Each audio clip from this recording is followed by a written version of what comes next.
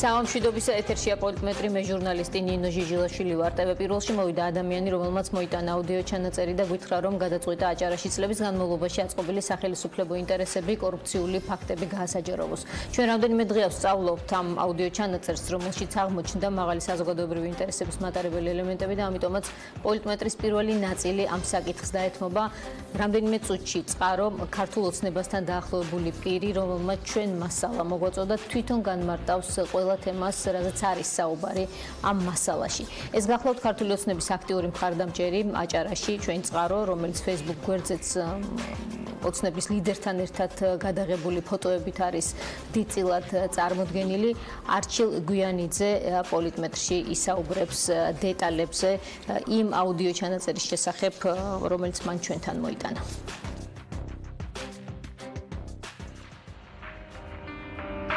სკანდალური ჩანაწერი, რომელშიც აჭარის მთავრობის ყოფილი თავმჯდომარე და მოქმედი დეპუტატი ხელისუფლების წარმომადგენლების ინტერესებზე საუბრობს.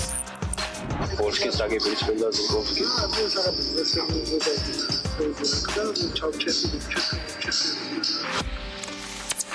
არჩილ ხაბაძე ამბობს, რომ რამდენიმე წლის წინ მისი თანამდებობა კონკრეტული პირების ინტერესებში ეწირა.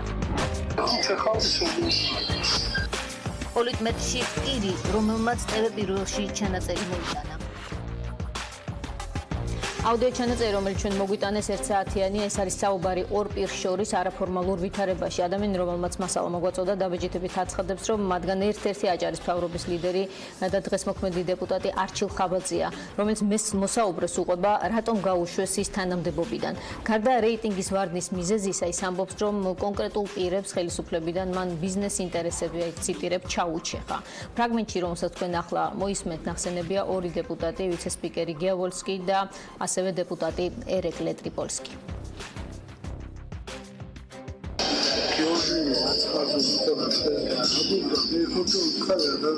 გიორგი კვირიკა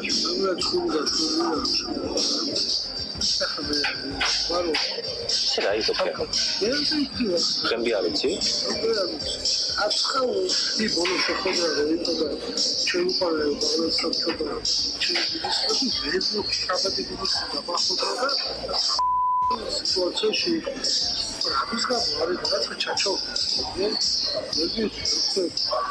დღემდე არის მიზეზი რა უნდა? აა ეს ის მიზეზი მე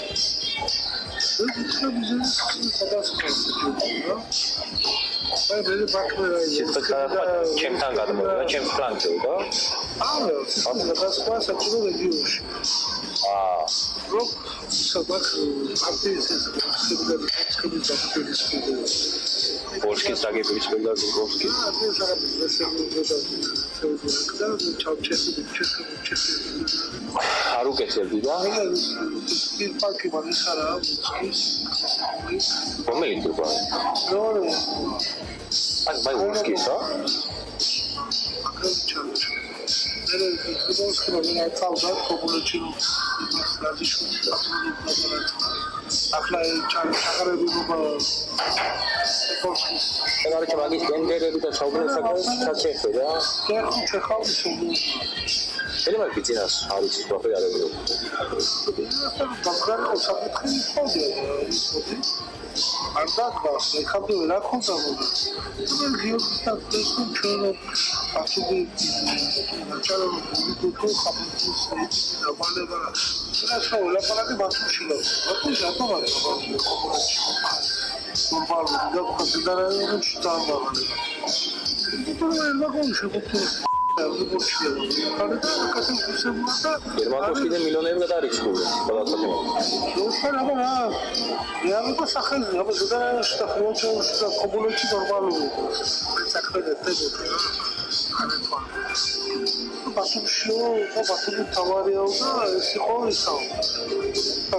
ზუსტად გამართა ეფექტურობა ხდება ჩაზე, ეს სხვა ის მოარი და ესე იგი დღემდე არის რა უნდა მაგრამ მაგ მაგიან და ოსკალა იმათ შეასრულენ იქიდან პლანი დაგება და აქედან აი პლანია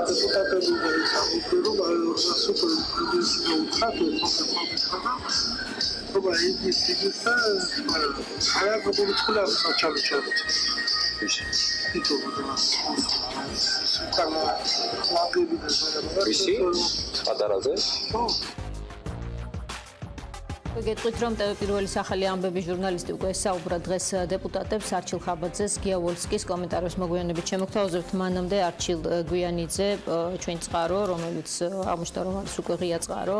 მადლობა სტუდიაში მობრძანებისთვის არჩილ. პირველ რიგში მოდით გითხარით რით შეგიძლიათ დაადასტუროთ ამ ჩანაწერის ავთენტურობა. გამარჯობა ნინო, მივესალმები თქვენ ტელემაყურებელს. პირველ რიგში მინდა სანამ გადავალ ამ თემებზე, პირველ რიგში მინდა გამომარტო ამ ნაბიჯის გადადგმის მიზეზები რა. აი ამ ბრძოლის ჩემის მიზეზები მინდა გამომარტო, მოკლედ ჩამოვაყალიბებ. 2012 წელს მოგეხსენებათ ჩვენ საზოგადოება მე ჩემი თაობა, ჩემი უფროსი თაობა რა მოლოდინით და რა გულის სულისკვეთებით დაუდექით ქართულ ოცნებას გვერდში იმ ტირანის და იმ ძალადობრივი რეჟიმის წინააღმდეგ, რასაც ნაციონალური მოძრაობა ქვია. მაგრამ აღმოჩნდა რომ თელი მოლოდინების ჩამონათვალიში აღმოჩნდით იმედგაცრუებული. ან იქიდან გამომდინარე რომ მე ამ გუნდის აქტიური მხარდამჭერი ვიყავი, მოგეხსენება რომ ჩემთვის რთულია რომ ეს ნაბიჯი გადამედგა და ამ გუნდში და გუნდის წევრები გარკვეული კატეგორიები მიმართ დამეწყო მხილება სხვადასხვა მიმართულებით.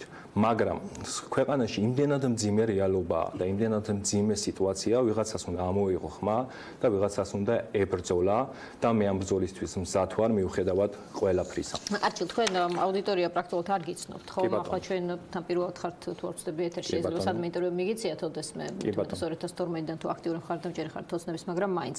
ამიტომ მოდით გითხარით, რა იყო თქვენი როლი ოცნებაში პირველ რიგში და ნახეთ ჩვენ რომ არაერთი ფოტო გაქვთ ოცნების ლიდერთან ერთ ერთად გადაღებული. ეს პრინციპში შეიძლება არაფერზე არ მიენიშნებდეს, მაგრამ მაინც თქვენ ამით გინდათ ხაზგასმა, რომ დღემდე მისი მხარდამჭერი ხართ? რა კიღა დღესაც თქვენ ეგრეთ წოდებულ cover-ზე, ანუ Facebook-ის მთავარ სამილად გაქვთ ივანიშვილთან ერთად გადაღებული. ეს არაფერს ანიშნავს, მაგრამ cover-ზე, რადგან მე დღემდე მაქვს ბიზინა ივანიშვილის ფოტო, ეს იმას ნიშნავს, რომ ეს კაცი თავად ვფიქრობ, რომ ადამიანი, რომელიც ქვეყანაში აკეთებს უამრავ სხვადასხვა ქველმოქმედებას და მოვიდგა 2012 წელს სხვა мотиваციით აღმოჩნდა რომ მას მან აღმოჩნდა ამ გუნდის ტყვეობაში ანუ თავად ბიძინა ივანიშვილი ერთი პიროვნება ზოგადად აჭარაზე ხსაუბრობთ აჭარაში ვერ ფლობს ინფორმაციას და არა იმის ვერანაირად რომ ყველა დეტალი იცოდეს. ანუ ეს არის ჩვეულებრივად გუნდის ეგრეთ წოდებულ ტყვეობაში, ანუ გუნდი რასაც ეუბნება, იმას აი იმას გადმოსცემს კაცი და ანუ ეს ჯერავს ბეძინა ივანიშვილს უბრალოდ უყურეთ და ამის მაგალითია საპრეზიდენტო არჩევნები. ადამიანმა რომელმაც გამოვიდა და გუნდმა დაარწმუნა თავის მოგუნდა რომ ჩვენ ვიგებთ უპირატესებით 53% და მიულოცა ბეძინა ივანიშვილა. საზოგადოება შემდეგ აღმოჩნდა რომ პირიქით ეს ეს სხვა თემია პრინციპში პოლიტიკური ანალიზი შევდივართ მოდი დაუბრუნდეთ ამ ჩანაწერს და ისევ გავიმეორებ კითხვას რით შეგიძლიათ ამ ჩანაწერის ავთენტურობის დადასტურება ჩვენ პრინციპში იმიტომაც გადავწყვიტეთ რომ გაგვესაჯაროებინა ერთ-ერთი მთავარი კომპონენტი იყო ის რომ წყარო აღარ დამალა საკუთარი ვინაობა და ეს წყარო ხო მე ვარ წყარო უბრალოდ ეს ჩანაწერი პიროვნებამ რომელმაც მე მომაწოდა იცის რომ მისი კონფიდენციალურობა დაცული იქნება და აქედან გამომდინარე მე გავასაჯორე უბრალოდ მან ვერ გაასაჯარო ვარ მიზესთან გამო და მე გავასაჯაროვე. რითი შეგიძლიათ დავადასტუროთ ჩვენ ყოველთვის სკეპტიკური პროფესია გვაქვს და იქნებ ეს არ არის ხაბათი ჩვენ რა ვიცი ერთია ანუ არჩილ ხაბაძის ხმა იმდენას სპეციფიკური ხმა აქვს ხო? აი ვისგან ვისაც კი ოდნავ შეხება აქვს აქ არანაირი დადასტურება საჭირო აღარ არის. ავთენტურობაზეც ზედმეტია ლაპარაკი მე მეორე ჩვენ მე გავასაჯაროვე საზოგადოება კიდევ მომავალში სხვა ფაქტებს გავასაჯაროვებ დოკუმენტარული იქნება ეს ეს არ არის ერთად იმიტომ რომ ახლა მაგალითად რაც უფრო სპეციფიურია ხმა მით უფრო ადვილია მისი იმიტირება. თუმცა ჩვენ მოგვიანებით ცოტა ხანში ვნახავთ კომენტარს თავად ხაბაძის რომელიც რაღაც უცნაურ ამის ამბობს პრინციპში შეგვიძლია რომ ვნახოთ მე მგონი ორივე კომენტარი.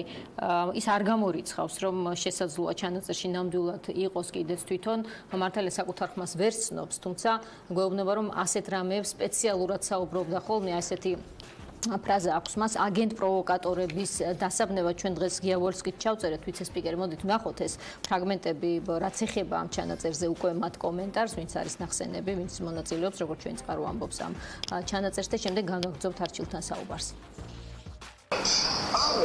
გადასხმა საჭირო რეგიონში. რა? რო საბაქ აქტივიზმი პოლკის დაგებული შეგვიძლია პოლკი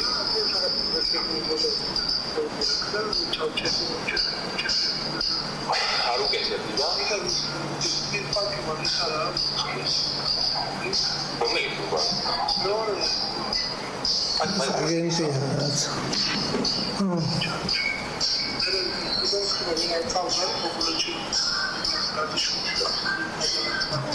რაც. მე ვიხსენება, ჩემი ხმას ასე მოსმენილი არ მაქვს ჩემი ათვა.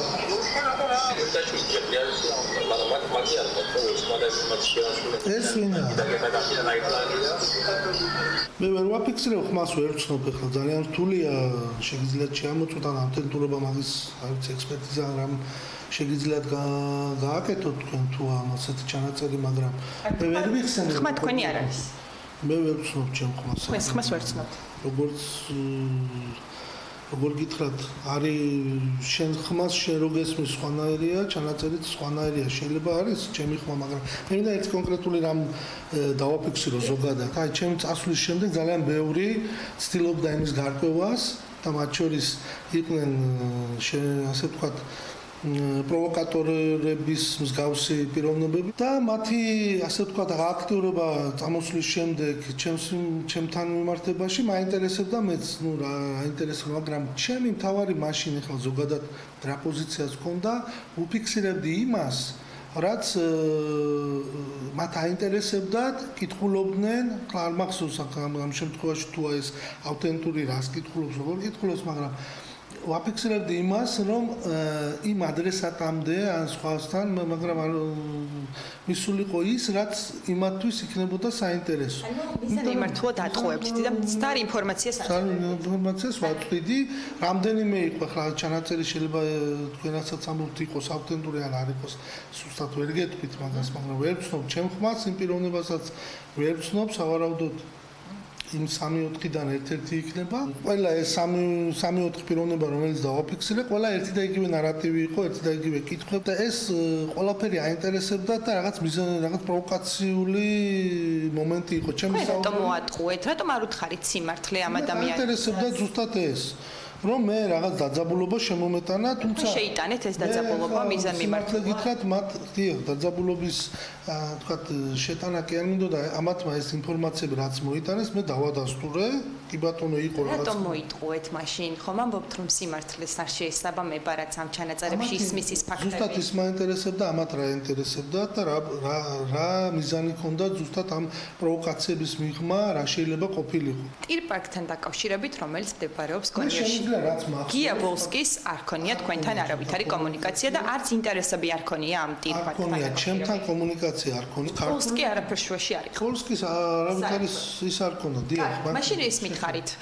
ქართული ოცნების დაახლოებით ალბათ იმ დროისთვის 150-ამდე 150-მდე დეპუტატიდან გიაბოლსკი რითი გამოარჩიეთ რომ აი თქვენ ძდარ ინფორმაციას აწოდებთ ადამიანს და გიაბოლსკი თვითონ არ კითხულობს თქვენ შეიძლება არ ფიქსირდება მაგრამ მანამდე ყოველთვის აინტერესებდა ბატონ გიას პოზიცია ყოველთვის მეკითხებოდნენ მაგ ბატონ გიას იმაზე რა ქვია პოზიციაზე და რატომ მაინდა-მაინც გიაბოლსკის პოზიციების მე არ ვიცი მათ არ მარტო გია ბატონი გიას მაგ იყო მსჯელობები. მაგათი რა შეიძლება ყოფილიყო ჩემი თქვა ეს გადადგომის მიზეზი. სულ ინფორმაცია იმიტომ მივაწოდეთ რომ ეს ინფორმაცია სადაც მივიდოდა ადრესატამდე იქ რა შემდეგ რა ინფორმაცია გამოვიდოდა იქიდან საინტერესო იყო და რა გიაბოლსკი მიცის რომ თქვენ მისი სახელი თუნდაც სიცრუისთვის გამოიყენეთ არ მგონია არა ბატონ გიას ახლა არ- არ- არ აფიქრობ რომ მე პრობლემა არ ექნება. ბატონ გიას ბატონ გიას დააფიქსირებს რომ არ ყოფილა სავარაუდოდ და არც იყო. ამ თქვენ რომ გამოიყენეთ მისი სახელი ეს საჭირო იყო იმ მომენტისთვის სხვადასხვა მიზნებისთვის და ოცნებაში ვინმე მიცოდა ბატონო არჩილ რომ თქვენ მიზან მიმართულა თუნდაც როგორც თქვენ ამბობთ ეგრეთ წოდებულ პროვოკატორებს რო ინფორმაციას აწოდებდით ან დამოუკიდებლად გადაწყვიტეთ რომ კონკრეტულ დეპუტატებზეც რო ინფორმაციები უნდა მიგეცოთ ეგ რაღაც მნიშვნელოვნად თვლიდი მე იმ შემთხვევაში ჩემს მიმართ მიზან მიმართული რაღაც კამპანია მიდიოდა.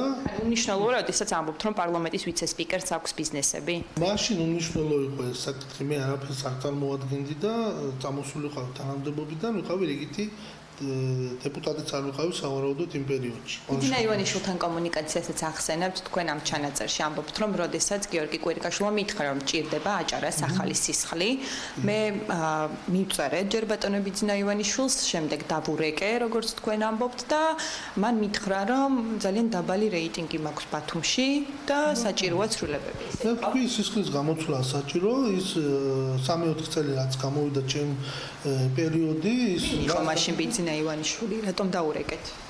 არა მე პირველ რიგში უნდა დავაფიქსირო ის რომ ის მის პერიოდში მოხდა ჩემი დანიშვნა მის პრემიერობის დროს ასევე ის ის არის ქართული ოცნების დამფუძნებელი და ჩვენი ლიდერი და ყოველთვის იყო ეს ჩვენი ლიდერი მე კიდევ ერთხელ ვამბობ სხვა საკითხებზე. არა პოლიტიკაში არ იყო მაშინაც ის თქვენი ლიდერი იყო.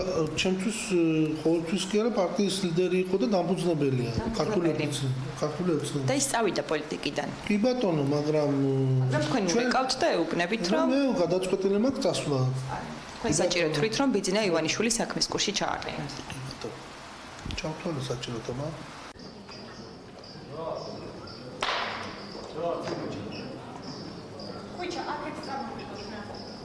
თუ რამე აქ საკითხი ხაბაძეს აუცილებელია რომ გამოვიდეს და გააკეთოს ამის შესახებ განცხადება და ამაზეც გააკეთოს კომენტარი. თქვენ რასაც მასმენინებთ, ეს არის რაღაც მოგონილი თემა, რომელიც არც ხაბაძეს ტექსტში ვერ ამოვეკითხეთ და რასაკვირველია, ჩემ თავზე კიდევ პასუხისგებელი ვარ, არავითარი კომერციული ინტერესი თქვენ რასაც დაკავშირებით ხმი არა პარტიულ ხაბაძე ნუ არ მაინდა თქვენ მკითხეთ რა. არჩილ ხაბაძისგან ეს საკითხი ვერ გავიგონეთ თქვენ თუ მეკითხებით არსად არც აჭარაში არც გონიოში არც საქართველოში არანაირი კომერციული ინტერესები არ გამოჩნდა მე უშვებ რომ რაღაც პროვოკაცია მართლაც მოხდა და არჩილ ხაბაძეს შეცდომაში შეიყვანეს როგორც თვითონ განმარტა. მაგრამ მე რასაც უშვებ გონია რომ ყველაზე მთავარი თემა არის ის რაც გითხარით რომ არავითარი ინტერესი არ შეიძლება გამოჩნდეს მithobetes სალაპარაკო რომელიც არის აი ამ შემთხვევაში თქვენ რაც როგორც ჩანაწერი ესე მომასმენით თქვენ მოისმინეთ გეოვოლსკის და არჩილ ხაბაძის კომენტარები ამ აუდიო ჩანაწერთან დაკავშირებით და იქ მოცემულ ინფორმაციასთან დაკავშირებით დავრუნდეთ სტუდიაში არჩილ გვიანიძე ყავს ჩვენ ეთერში რომელმაც ჩვენ მოგვაწოდა ეს აუდიო ჩანაწერი. მოდი კიდევ ერთხელ განმარტოთ რას ამბობს თქვენ რომ ამბობთ რომ ეს არის ხაბაძე და ნამდვილებით ის პირი ამ აუდიო ჩანაწერში რომ მაგენს ბიზნესები უნდა და თქ და მე ჩავჩეხე მივჩეხე მოვჩეხე ეს არის ხაბაძის ფრაზა. უცნობი ეკითხება არ უკეთებდი და ხაბაძე პასუხობს, როგორ არ უკეთებდი, რა არ უკეთებდი ტირპარკი მაგის არაა, ვოლსკის. რომელი ტირპარკი ეკითხება უცნობი, ხაბაძე პასუხობს მეორე რომაა. შეგიძლიათ უფრო დაგვიზუსტოთ ახლა აქ ყველას ნახეთ აი ცოტა სკეპტიკური პოზიციიდან დავსვათ კითხვა. ყველამ ყველა შეიძლება ყველაფერი დააბრალოს. რითი გაგვცხვა ტიპის და დამადასტურებელი ფაქტები რომ ტრიპოლსკის და თქვა იგივე ტრიპოლსკიზი ამბობს მე მოგვიანებით რომ ის ფარველობს ვინმე ლაზიშვილს და ამაზეც მინდა კითხოთ მე ქობულეთში. რა ტიპის მასალა გავხთხილთ რა ტიპის ინფორმაცია რომ თქვა ის დაგვიდასტუროთ გარდა ამ აუდიო ჩანაწერის? ნინო პირველ რიგში ეს ჩანაწერი ვინც მომაწოდა კონფიდენციალურმა პიროვნებამ აქ უკვე ნათელია რომ ანუ ავთენტურობაც არ არის საჭირო. ანუ არჩილის იმდენად სპეციფიკური ხმა აქვს პირველი ამას მინდა ხაზს გაუსვა, ვისაც კი მასთან შეხება ქონია, თუნდაც ამ ინტერვიუდან, ხო? უკვე ნათელია რომ ეს არის არჩევი ხაბაძის. მაგრამ ის ამბობს, ფოტოშერს ნახეთ რა თქვა, მან თქვა რომ სპეციალურად ვაგრძელებდი ხოლმე კონკრეტულ ამბებს აგენტ პროვოკატორებში. მაგალითად, შესაძლოა მას მოაზრებული ხავდა თქვენ ვინც მოგაწოდეთ ეს ჩანაწერი, ის მიზანმიმართულად კარგი, დაუშვათ რომ ასე იყო. ეგ ახლა ეგ კომენტარი და ინტერვიუ ზოგადად სასაცილოა. ნუ არაფერს არ მიეკერება ესეთი ინტერვიუ, განმარტება უფრო სწორად, მაგრამ დაუშვათ რომ აგენტ პროვოკატორ ავტორთან სპეციალურად ილაპარაკა მსგავსი თემა. და სხვათა შორის ჟურნალისტი ძალიან ლოგიკურ კითხვას უსვამს.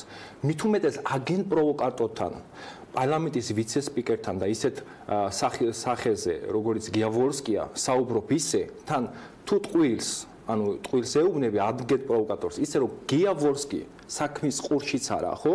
მაშინ კონკრეტული კითხვა ისმის აქ. ამ ინფორმაციის მიწოდება აგენტ პროვოკატორისთვის რა მიზანი იყო? ანუ რა მიზანს ისახავდა ბატონი არჩილ ხაბაძე? ნუ ამით რა? რომ აგენტ პროვოკატორს რომ ტყუილი უთხრა, მას რა ქონდა ამით მიზანი? ანუ ამ მიზაზი მიზეზი განმარტოს, მიზანი რა არის ამის?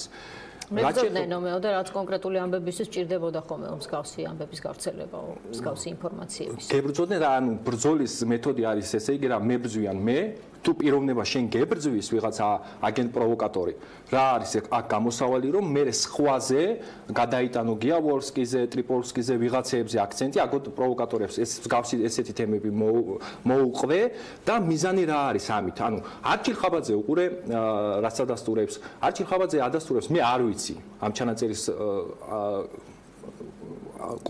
ავთენტურობა უნდა დაადგინოს გამოძიება დაინტერესენ ეს არის კითხვები საზოგადოებას. ანუ ხელისუფლების ინტერესში უნდა შედიოდეს რომ საზოგადოებას ეხლა გასცეს პასუხი რომ ეს ჩანაწერი არის ავთენტური.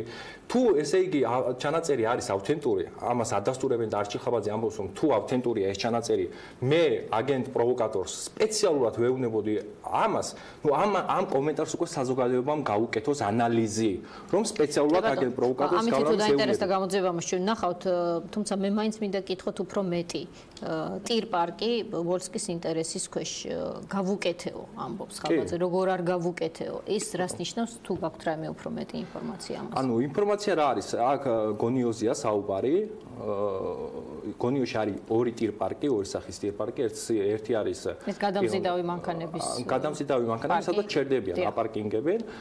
და აი ამ თემაზე საუბრობს. ერთი ტირ პარკი არის პიროვნება გიაჭონიის მეორე ტირ პარკი არის როგორც ჩანს, აი ამ ტირპარკზე ლაპარაკი მეორეზე, სადაც არ შეიძლება არა ოფიციალურად, ხომ ოფიციალურად ეს ასე არა. არა, ოფიციალურად გაუკეთა როგორც ჩანს, იჯარა, იქ ხო გინდა მიწას იჯარა ის ტირპარკი მოაწყო ნებართვები გინდა თელი ნებართვები. ანუ ამის შესახებ თქვენ ამისგან დამოუკიდებლადაც გაქვთ ინფორმაცია ამ აუდიო ჩანაწერისგან, რომ ტირპარკი ვოლსკის არის, მეორე ტირპარკი, როგორც თქვენ ამბობთ? მეორე ტირპარკი ვოლსკის არის, მე ამის დადა უყურე, მე ამის დადასტურება შემიძლია. მე ჩანაწერებიდან გამო ანუ ჩანაწერებიდან გამომდინარე ვსაუბრობ ვფიქრობ რას, რომ აჭარის პირველი პირი, კომპეტენტური პირი, თავმჯდომარე ადასტურებს, რომ ვოლსკის კონდა ინტერესები და ტირპარკი არის მეორე მისი, ამის შემდეგ გამოძიებამ სხვადასხვა სტრუქტურებმა უნდა დაინტერესდნენ არის თუ არა მართლაც ამის უკან გია ვორსკი. ეს უკვე ჩვენი საზოგადოების, ჩემი, თქვენი ჟურნალისტების ინტერესში არ შეეძლოს. ჩვენ ვასაჯაროვებთ ფაქტებს და შემდეგ გამოძიებამ ამ ფაქტებზე და მეორე პრესერეკლე ტრიპოლსკის ეს რა თემა ლაზიშვილებს, ლაზიშვილს პატრონობდა ქობულეთში. ეს რა თემა? ამ თემასაც ახსენებს არჩილ ხაბაძე ტრიპოლსკის. მე როგორც ვიცი ქობულეთში ამ პერიოდში ინფრასტრუქტურის სამსახურის უფროსი იყო ლაზიშვილი ლაზიშვილი და ამბობს რომ ლაზიშვილს პატრონობდა ტრიპოლსკი. ხო, ბოლოში და ზღვისპირეთში ინფრასტრუქტურის სამინისტროს ბევრი პროექტი აქვს და ხო, ანუ ამჟამად არ არის ლაზიშვილი ინფრასტრუქტურის სამსახურის უფროსი იმ პერიოდში. ძველამბებზეა საუბარი. ძველამბებზე იყო ლაზიშვილი სამსახურის უფროსი. თქვენ თუ გაქვთ ინფორმაცია ეს როდის ჩაწერეს ეს საუბარი? ეს საუბარი როდის ჩაწერეს? ზოგადად არ ვიცი მე. ალბათ სადღაც იქნება ჩემი ვარაუდით რაც ამ პიროვნებას მე ვიცი როდის ქონდა დაახლოებით შეხვედრა აჩილ ხაბაძესთან იქნება ალბათ ორი წლის ჩანაწერი სადღაც ანუ აჩილ ხაბაძე აღარ იყო აჯარკა როდესაც აღარ იყო ახალ წამოსული იყო და ის ჩივის რატომ გაუშვეს რომ მას არ ქონდა რეიტინგი ეს უთხრა მას პირდაპირ ბიძინა ივანიშვილმა ამას თან დაემატა თუმე სწორად აღვიქვი როგორც ის ყვება და თუ ეს ის არის ნამდვილად ეს მაინც დავსვათ ასე კითხვის ნიშნის ქვეშ ამას დაემატა ის უკმაყოფილება რაც დადგა მას შემდეგ რაც მან არ გაატარა კონკრეტული პირების ინტერესი. ხაბაძე უყურე ხას თუ გაატარა ინტერესი რა რაღაცა მიყოლ ალბათ სხვა ინტერესები უყურე. ხაბაძე ხას უსმავს რომ იქ დამიპირისპირდა პარტიის სხვა დეპუტატები ვოლსკები ტრიპოლსკები ვიღაცები ანუ ამას ხას უსმავს გარდა იმისა რომ რეიტინგი არ ქონდა სხვების დამიპირისპირდნენო ანუ და მისეს განმარტავს იმიტომ რომ სხვადასხვა ინტერესები ქონდა თუ და მე ჩეხავდიო მათ ბიზნეს ინტერესებს რეგიონშიო და აქედან გამომდინარეო ჩემზე იყვნენო გაბრაზებულიო. ეს უკვე არჩილ ხაბაძეს ეს ჩანაწერი ზოგადად მსგავსი კორუფციული თემები ჩვენ საზოგადოება მე მათ შორის დაუნდობელი ვიქნები ყველა იმ პიროვნების მიმართ ვინც კორუფციაშია. აი მე შევედი ძალიან დიდი გამოწვევის წინაშე დავდექი და მე ამ ბრძოლას ვიბრძოლებ ბოლომდე. ეს როდის გადაწყვეტეთ რომ ვიბრძოლოთ, როდის გადაწყვეტეთ? როდის გადაწყვეტე იცი? ეს გასაკეთებელია. ეს გასაკეთებელია. რომ თქვენ არ ქონიათ არანაირი აქტივობა, არანაირი მართლობა. მართალი ხარ გეთახმები მე 2012 წელს როცა ვიყავი ახალგაზრდული ხელმძღვანელი და წამოვიდი, შემდეგ აქტიურად რაც შემოწევ ჩემი მხრიდან, ანუ ერთი პატარა ჭანჭიკი ვიყავი ამ გუნდისთან აქტიური და როცა წამოვიდი გუნდიდან 2012 წლის ახალგაზრდულში, უბრალოდ ვიყავი აქტიური მხარდამჭერი, მაგრამ რეალობა ბოლო პერიოდში იმდენად მძიმე შეიქმნა, გვაქვს რა, გვაქვს ქვეყანაში მაღალი დონის კორუფცია. კორუფციაზე მარტო მიკავსაუბრობ არჩილგვიანიძე. საზოგადოებაც საუბრობს, ბიზნესმენებიც საუბრობს. კი, სამომავლოდ, რა თქმა უნდა, მოძიებული მაქვს სამომავლოდ, კიდე მოვიძიეთ ფაქტებს. ანუ თქვენ გაქვთ ესეთი აუდიოჩანაწერი. რა თქმა უნდა, სამომავლოდ და გამოფინოთ. სამომავლოდ ვამბობ. რამდენად ესეთი განუმარტავ. დამაჯერებელი მეთოდი იქნება. რა თქმა უნდა, იქნება ძალიან დამაჯერებელი და მკაფიო მეთოდები, იმიტომ რომ ვაცხადებ ყველა იმ პიროვნების ეხლაც სამომავლოთაც, იმის სამომავლოთაც, ყველა პიროვნებას მე არჩილ გვიანიძეს თუნდაც დავჭი მარტო. მიუხედავად არაერთი ზეწოლა იქნება, მიუხედავად არაერთი შავი პიარი იქნება ჩემზე, მიუხედავად არაერთი ეგრეთ წოდებული ბოტებით გაშავება იქნება ჩემი ყველაფრისთვის ზადვარ და თითოეულ პიროვნებას გამოუცხადებ დაუნდობელ ბრძოლას იმ ჩინოვნიკს, რომელიც კორუფციაში არის აი თუნდაც დავჭე მარტო. ახლავისთან ერთად ხართ ვინ გიმაგრებთ ზურგს, ანუ ვინ გულშემატკივრობთ ახლა კამ. ჩემი თავარი გულშემატკივარი არის საზოგადოება. ჩემი თავარი საზოგადოება ახლა აი პროცესში გიცნობ თქვენ. მე ვხედავ რომ თქვენ SMS-ებიც აქტიურად მოგდით რა თქმა უნდა. კი, SMS-ებიც მომდის ამ არ ვიცი ვინ გწერთ, მაგრამ ფაქტია რომ გამხნევებენ ან ინფორმაციას დამატებით გაშველებენ ამ პროცესში, როცა ჩვენ საუბრობთ. მაინტერესებს ვინ გულშემატკივრობთ? ანუ ეს რა სივრცეა? ვინ არის ახლა თქვენ გულში? ვინც ეს გაგასაჯაროებინათ? მას რა ინტერესი აქვს? არავის არ მას რა ინტერესია, გიგივე ინტერესი, რომ მებძოლოს ქვეყანაში ამ მანკიერ თვისებას, რასაც კორუფცია ქვია და რაც ეს არის რა არის? კორუფცია როგორი თემა იცი?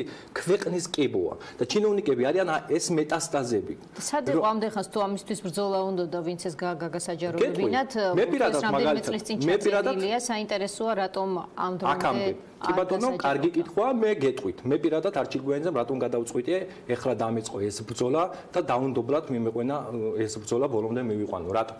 პირველ რიგში, სანამ თან დამბრალდება ეს ვიცი, ეს ბრალეულობა წამოვა, ან მოღალატის სტატუსი, სხვათა შორის რასაც უფრთხილდებოდი პირველად, ნინო ძალიან სანამ ამ ბატალიებში შევიდოდი, ბრძოლის უფრთხილდებოდი, იმიტომ ვიღაცა მოღალატეს დაგიძახებს, ვიღაცა ინტრიგანს დაგიძახებს, ვიღაცა მართულს დაგიძახებს და ამიტომ ვარიდავდი თავს, მაინც ახალგაზრდა ბიჭი ვარ, ახალგაზრდა კაცი ვარ და ნუ ამას ვარიდებდი თავს, ამ პიარ, შავ პიარს მაინც ვარიდებდი თავს, მაგრამ გუნდურობის დარღვევაში ვერ დამადანაშაულებენ და ღალატში რომ გუნდურს გუნდს უღალატე და დაიწყე ესეთი მეთოდი რა თქმა უნდა პირველ რიგში მე სანამ ამას უკვე საჯაროდ დავიწყებდი ბრძოლას გუნდში არაერთი ფაქტით არაერთი დადასტურებული ფაქტით ვიბრძოდი და ვეუბნებოდი შესაბამის კომპეტენტურ პირს რომ ამაზე უნდა გაკეთდეს რეაგირება. სხვათა შორის სხვადასხვა კომპეტენციის და სხვადასხვა ინსტანციის დაწესებულებებში და დევს კონკრეტული ფაქტები კორუფციაზე რაზეც რეაგირება არ ხდება. მაგალითად, ჩემი ძილია. მოგიყვანოთ ერთი ფაქტი. ბათუმის წინამორბედ მერზე და ვიცემერზე ბათუმის პროკურატურაში დევს დასაბუთებული გამოძიებული კორუფციაზე თემა. კი ბატონო? აი ერმაკოს ახსენებს ის ერმაკოს არის ნახსენები. ერმაკოს ახსენებს იმ მიმართულებით, რომ ის არ ემორჩილებოდა ერმაკოვის სპისი კადრი. ბათუმში თუ არ იყო რეიტინგი, ეს იმის ბრალია რომ ის ახსენებს არ ხდება. ასევე სხვადასხვა სამსახურებს უდევს დაზუსტებული, გამოძიებული, დასაბუთებული თემები კორუფციასთან მიმართებაში რა თემებია ეს? აი რა კონკრეტულად რას ეხება კორუფცია გავიგეთ, რას ეხება, რას თქვენ იცით? რა რა ტენდერებს, რა რა კი ბატონო ტენდერებს, სამშენებლო ნებართვებს, კოეფიციენტების გაცემას და ასე შემდეგ და ასე შემდეგ. ანუ სხვადასხვა სისხლის დამართვებს ძირითადად ხდება კორუფცია, რასაც დავაკვირდი ტენდენცია არის ტენდერებში და ეგრეთ წოდებულ სამშენებლო ნებართვებში. მე ვსაუბრობ კონკრეტულად აჭარაზე, ასე თქვა ინფორმაცია. გამოძიების პროცესშია და თქვენ რამდენად გამოძიების პროცესში არის, რომ თქვა რომ ეს დადასტურებული კორუფცია უკვე თუ ეს ჯერ დადასტურებულია, ანუ დევს დოკუმენტები ოფიციალურად დადასტურებულია შესაბამის არაერთ სამსახურში. სხვადასხვა პიროვნებებს დევს კორუფციაზე დადასტურებული საბუთები. რაზეც რეაგირება ვერ ხდება, რატო რეაგირებას რატო ვერ ახვედრებენ ადგილობრივი ძალოვნებს მე ვერ დავადანაშავლებ ძალიან კარგი და დადებითი პიროვნებები და სხვათა შორის სახელმწიფო მოაზროვნე პიროვნებები მუშაობენ აჭარაში. როგორც ჩანს პოლიტიკური ნება არ არის და როგორც ჩანს ეს ნება თელი საქართველოს საქართველოს მასშტაბითა და იმიტომ აქედან გამომდინარე ვერ ხდება რეაგირება. სხვათა შორის მე სანამ ამ პროცესს დავიწყებდი, მე გავაკეთე ბრიფინგი ერთი 10 დღის წინ ჟურნალისტები ალბათ ეს ბრიფინგი საზოგადოება მიხილა, სადაც მოუწოდე ხელისუფლებას რომ ქვეყანაში არის მაღალი დონის კორუფცია და დევს კონკრეტული ფაქტები სხვადასხვა უწყებებში და მიეცით რეაგირება წინააღმდეგ შემთხვევაში მე დავიწყებ გასაჯაროებას და დაუნდობელ ბრძოლას ამ ხალხის მიმართ. ანუ აქაც დავიცავე გუნდურობა და კიდევ ერთხელ მოუწოდე რომ გაეკეთებინათ რეაგირება. და ამ ჩემი ბრიფინგის მერე სხვათა შორის დამიკავშირდა ბათუმის ანტიკორუფციული სამსახურის უფროსი აჭარა გურიის შოთა ხორავა ძალიან კარგი ბიჭი დადებითი რო შევხვდი სახელმწიფოებრივად მოაზროვნე. როცა მან დაინტერესა ჩემი კომპეტენცია ეს და კონკრეტული ფაქტები დაინტერესა მე მარტივი პასუხი გავეცი. ჯერ რაც გაგვდა დადასტურებული რაც გიდებთ ოფიციალურად ჯერ იმაზე გააკეთეთ რეაგირება და შემდეგ ვისაუბროთ ახალ ფაქტებზე. რაცაც პასუხი ვერ გავცა. ახალი ფაქტები ამბობთ რომ გაქვთ. რა თქმა უნდა. კარგით, არჩილ, ნახეთ, აი აქ არის ერთი საინტერესო თემა, კვირიკაშვილის ფრაგმენტი არის საუბრისას და ძალიან ცუდად ისმოდა ჩვენ გავშიფრეთ ეს და უბრალოდ აღარ შევთავაზეთ აუდიტორიას. ხაბაძე ამბობს, თუ კი ის ხაბაძე ისევ ასევ დავდავსოთ საკითხი, ძლებს ჩამოვიყვანე გიორგი ცხვირგაშვილი აჭარაში, რა ვიცი, რა დაუშავე, ძველ თემაზე იყო ნაწყენი, საქმე არ გავუკეთე. ამბობს. უცნობი ეკითხება ძველი თემაა, ანუ ეკონომიკის მინისტრი რომ იყო, ხაბაძე ამბობს, ხო, თემა არ გავუკეთე, ხო და მაგი იქნებოდა მიზეზი. აა ხო, ეგ თემა ხაბაძე ამბობს, რომელიც არ იყო გასაკეთებელი. ანუ არ გაითვალისწინე, გავითვალისწინე, მაგრამ მე ისევ წავიდა, ისე წავიდა საქმე, რომ ირაკლის ღარიბაშვილს გულისხმობს, როგორც თქვენ გითხარით, უთხარი რომ ირაკლი და ირაკლი მარაო. აი ეს ეს რა რა თემაა თუ შეგიძლიათ ჩემი ინფორმაციით, ჩემი ინფორმაციით, მე როგორც ვიცი და როგორც ვფლობ ინფორმაციას, აა კვირიკაშვილის ეკონომიკის მინისტრობის დროს ქონდა კვირიკაშვილის კი არა, მის სამეგობროს უფროსურად კვირიკაშვილის სამეგობროს ქონდა ხოფის ბაზრობის ინტერესი. რაზეც არჩილ ხაბაძემ შემდეგ ჩააყენა ღარიბაშვილი საქმის ყურში. პრემიერი იყო მაშინ ღარიბაშვილი და ეკონომიკის მინისტრი. და ღარიბაშვილისგან მიიღო ვარი. და ამაზე როგორც ვიცი გაუბრაზდა როგორც არჩილი ამბობს გაუბრაზდა კვირიკაშვილი რომ ამ თემას შესახებ ხარიბაშვილი ჩააყენა საქმის ყურში. აქედან იყო ეს წენა დაწყებულიო ჩემი მიმართ კვირიკაშვილისო. ხოფის ბაზირობის თემაზეა თუ არ ვწდები საუბარი აქ. ეს თქვენ ესე მონაყოლს გვიყვებით? მონაყოლს გამომდინარე გაქვთ სხვა დამადასტურებელი. კი, კი, დამადასტურებელი, კი. გადამოწმებული წყაროები. კი, გადამოწმებული წყაროებთან და მათ შორის დადასტურებული. იმიტომ რასაც თქვენ ახლა ამბობთ, გასაგებია რომ აქ ახლა მილიარდებზე ამ წუთში ჩვენ საუბრისას ვერაფერს ვისმენთ და მილიონებზე, მაგრამ აქ არის იკვეთება ძალიან მნიშვნელოვანი საზოგადოებრივი ინტერესი, ამიტომაც გადავწყვეტით ჩვენ და მის გასაჯაროება, რომ კონკრეტულ სახელმწიფო პირებს, როგორც წესი, როგორც აღმოჩნდა აჭარაში აქვთ ხოლმე თავისი რაღაც ინტერესები, თუ კი ეს სიმართლეა და რომ ეს წესად არის ქცეული, რომ თავრობის თავმჯდომარემ ამ რაღაცებს ანგარიში უნდა გაუწიოს. აი დღეს რა ხდება შეგიძლიათ გითხრათ? დღესაც იგივე გრძელდება. ანუ 2012-დან, ანუ ხაბაძის პერიოდიდან, ხაბაძე, პატარაძე, შემდეგ ლიჟვაძე წყვეტა ამ მანკიერ, ამ ძალიან ცუდ კიბოს ეგრეთ წოდებულ კორუფციას წავედა არ ქონი. ანუ დღემდეა ეს ტენდენცია და დღემდე არის სხვადასხვა პიროვნებები, პოლიტიკოსები, რომლებიც ჩართული არიან კორუფციაში და პირად ინტერესებში.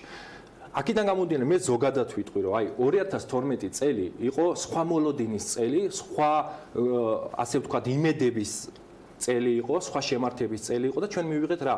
მივიღეთ ის, რომ კორუფცია მაღალ დონეზე. ამას მე ავლაპარაკობ ხალხო, ამას ლაპარაკობს ამერიკის შენი თავარი ქვეყნის პატრონი ამერიკის შეერთებული შტატების სახელმწიფო დეპარტამენტი ოფიციალურად. მის დასკვნაში გიწევს რომ ქვეყანაში არის კორუფციის ნიშნები მაღალ დონეზე. ამას ამერიკის სახელმწიფო დეპარტამენტი ამბობს, აქტივიზმი ამას კი არ ამბობს. კორუფცია რომ დღეს ქვეყანაშია, ნინო, ამას მე კი არ ვამჩნევ მარტო. ეს ყველა მიცის იმისთვის რომ ახლა ზოგადი არა ზოგადი გასაგებია ჩვენ საკითხული გვაქვს არ ერთხელ გაგვიშვით. ან დღემდე გრძელდება, მაგრამ რამე კონკრეტული ფაქტი. კი, დღემდე დღე კი ბატონო, დღემდე გრძელდება. მუშაობ, მაქვს დამუშავებული კონკრეტული ფაქტები, სხვათა შორის პიროვნებები როგორც შენ აღნიშნე, რომ ბევრი მიკავშირდება და ამ დოკუმენტაციის მოძიებაში ვარ და ფაქტების მაქვს მათ შორის მოძიებული და სამომავლო საკმაოდ აუცილებლად გავასაჯაროებ კიდევ და კიდევ ერთხელ ამ ბრძოლას არ მოვეშვები და დღეს მაგალითად არ შემიძლია მაგალითად დღევანდელი რეალობაზე რო შემეკითხო, ერთი თავშემარე შეიცვალა წავიდა, მე პატარაზე მოვიდა შეიცვალა წავიდა, მე მოვიდა თორნიკე ლიჟვაძე. ანუ თორნიკე ლიჟვაძე ახლა დღეს რომ მკითხო და მოდი სიმართლეს ვიტყვი, არის თუ არა კორუფციაში თვითონ უშუალოდ პიროვნება თორნიკე ლიჟვაძე, ამის დადასტურება მე არ შემიძლია, იმიტომ რომ კონკრეტულ ინფორმაციას და ფაქტს ვერ ვფლობ და ცილს ვერ დავწამებ ადამიანს, მაგრამ თორნიკე ლიჟვაძის მართლობის პერიოდში ეხლაც აჭარაში არის კორუფცია. მაგალითად მერიაში ძალიან კაფიო კორუფცია ამერიაში და მაღალ დონეზეა. რა კონკრეტულად? კონკრეტულად მაგალითად გეტყვით რას? კონკრეტულად არის იაფის სახლის პროგრამა, სადაც აშკარად კორუფციული ნიშნებია. აი რომ მოვდიოდი მაგალითად, შემიძლია მოგიყვანოთ ახლა ფაქტი ადამიანმა, რომელმაც მომწერა და თქო აი მაგალითად თონიკერი ჟვაძე ახლა ამ კორუფციების უკან დგას თუ არა თონიკერი ჟვაძე ამის დადასტურება არ შემიძლია. მაგალითად სხვათა შორის უნდა დაინტერესდეს თვითონ თონიკერი ჟვაძეც და საგამოძიებო უწყებაც. რადგან ამ სტრუქტურაში, ამ IP-ში მე ჩემი ინფორმაციით დადასტურებული ინფორმაციით ანტიკორუფციული სამსახურის იყო შესული და შიდა აუდიტიც. გითხარით თუ შეიძლება მოკლედ. კი ბატონო, აჭარის სოფლის მეურნეობის მინის მაგალითად მე ვფიქრობ პირად ინტერესიდან გამომდინარე შეცდომაში შეხავს თავრობის თავმჯდომარე. უყურეთ, ყოველგვარი დასაბუთების და განმარტების გარეშე უაპელაციოდ აუქმებს აჭარაში სოფლის მეურნეობის დარგის ერთადერთ და მუშა სტრუქტურას აი აგრო პროექტებსა და დღევანდელი მძიმე მატერიალურ ყოფაში 25-იან 25 კალიციან კოლექტივს ტოვებს უმუშევრად. ანუ ამ აიფს აუქმებს. რატო? აქ ისმის კითხვა. კორუფცია რა შუაშია? უყურე რა შუაშია კორუფცია. კონკრეტული მენეჯერული რაღაც გადაწყვეტილება. კი, კორუფცია რა შუაშია გეტყვი. ამ აიფს აქვს ძალიან მნიშვნელოვანი ტენდერები. აცხადებს ეს IP ძალიან მნიშვნელოვანი ტენდერებს. ამ აიფსზე არაერთხელ მოხდა ზეწოლა ministris მოადგილედან გვარი ქიქოძია თორცებია თუ არ ვიცი მოხდა ზეწოლა რომ სხვადასხვა ტენდერი მოერგოთ სხვადასხვა პიროვნებებს. რაზეც ამ IP-ის ხელმძღვანელობამ და თანამშრომლობამ განაცხადეს ვარი. ამიტომ ეს ტენდერები რო ჩაიგდონ და მათზე იყოს ეს ტენდერების გამოცხადება დამოკიდებული, როგორც ჩანს ჩემი ინფორმაციით, ახლა ამის უკან დგას თუ არა თონიკერი ჯო. მერის. არა, არა, ეს ოფის მეურნეობაზე ვსაუბრობ. შეყავთ შეცდომაში თავმჯდომარე და ამ აიფს საერთოდ აუქმებენ. ანუ ლიკვიდაციას უცხადებენ ათავისუფლებენ 25 თანამშრომელს და გადაყავთ სოფლის მეურნეობაზე ეს აიფ ანუ ანუ ტენდენცია რა არის? მიზეზი არ არის რომ რატომ აუქმებ ამ აიპს, ხო?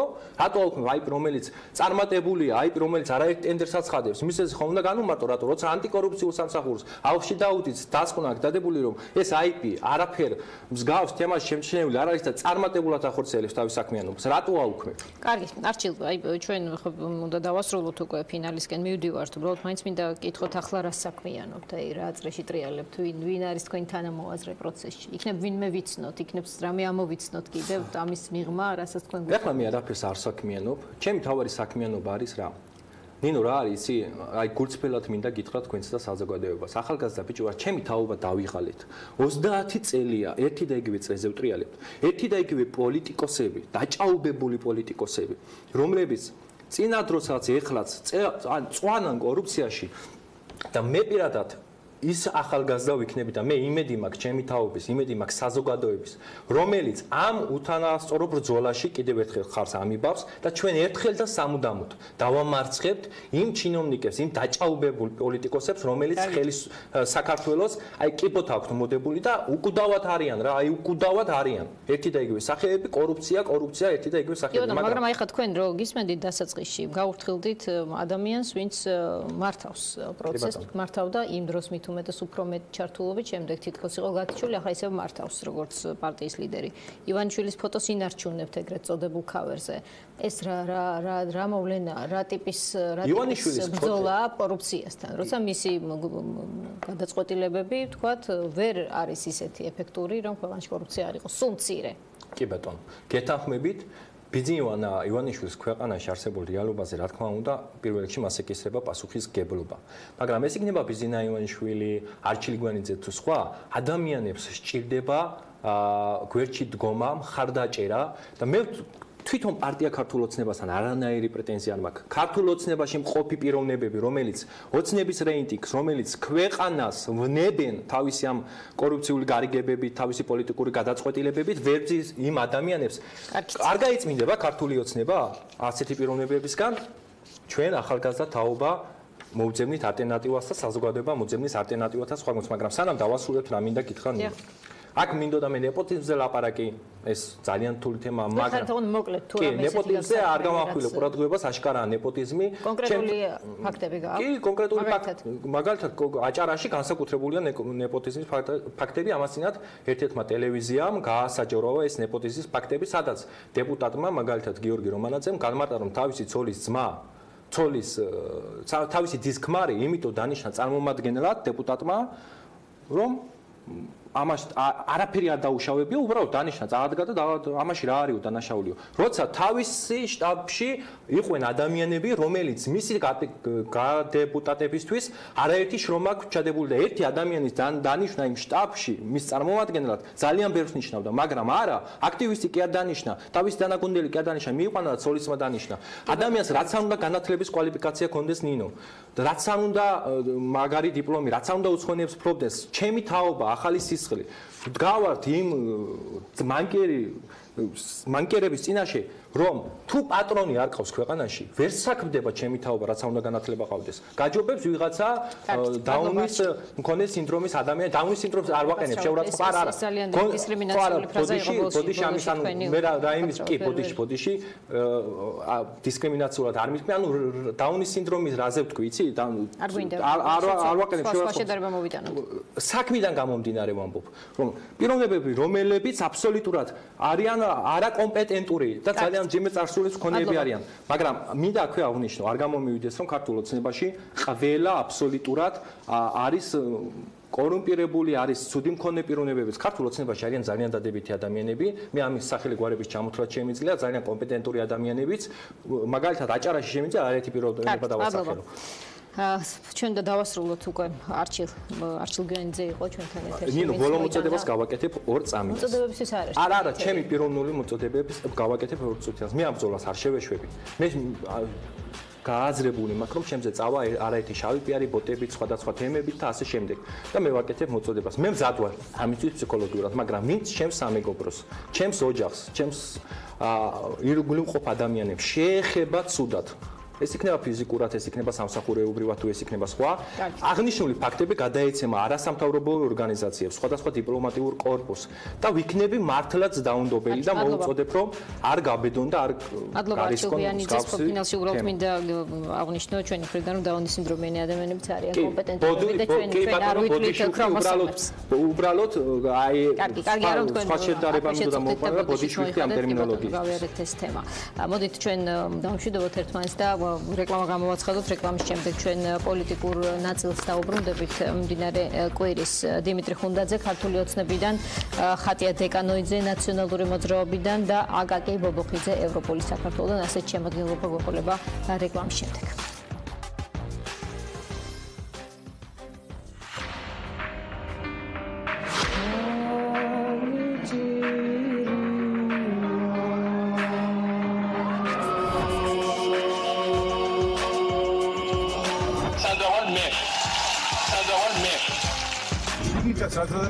10 მილიონი რა ვაშე შეთანხმდა რა მიიყვანა ლიდერი ხატებთან?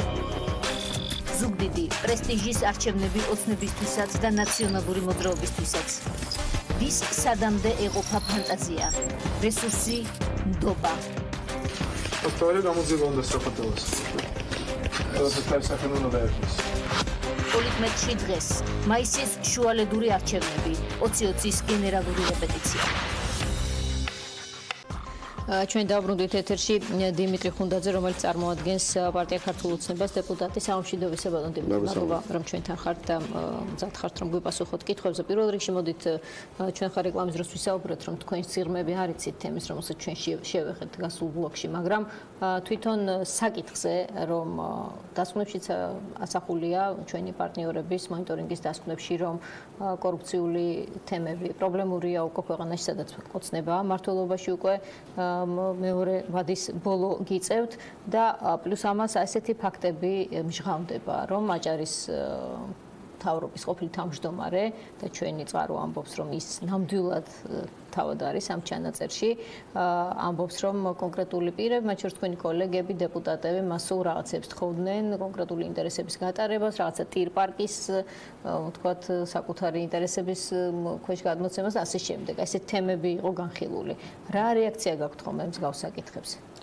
კი ბატონო, კიდევ ერთხელ მოგესალმებით და მივესალმებით ჩვენს ტელემაყურებლებს. კიდასურეთ პატივისცემას, ყოველ საინტერესოა ხოლმე თქვენს ეთერში ყოფნა.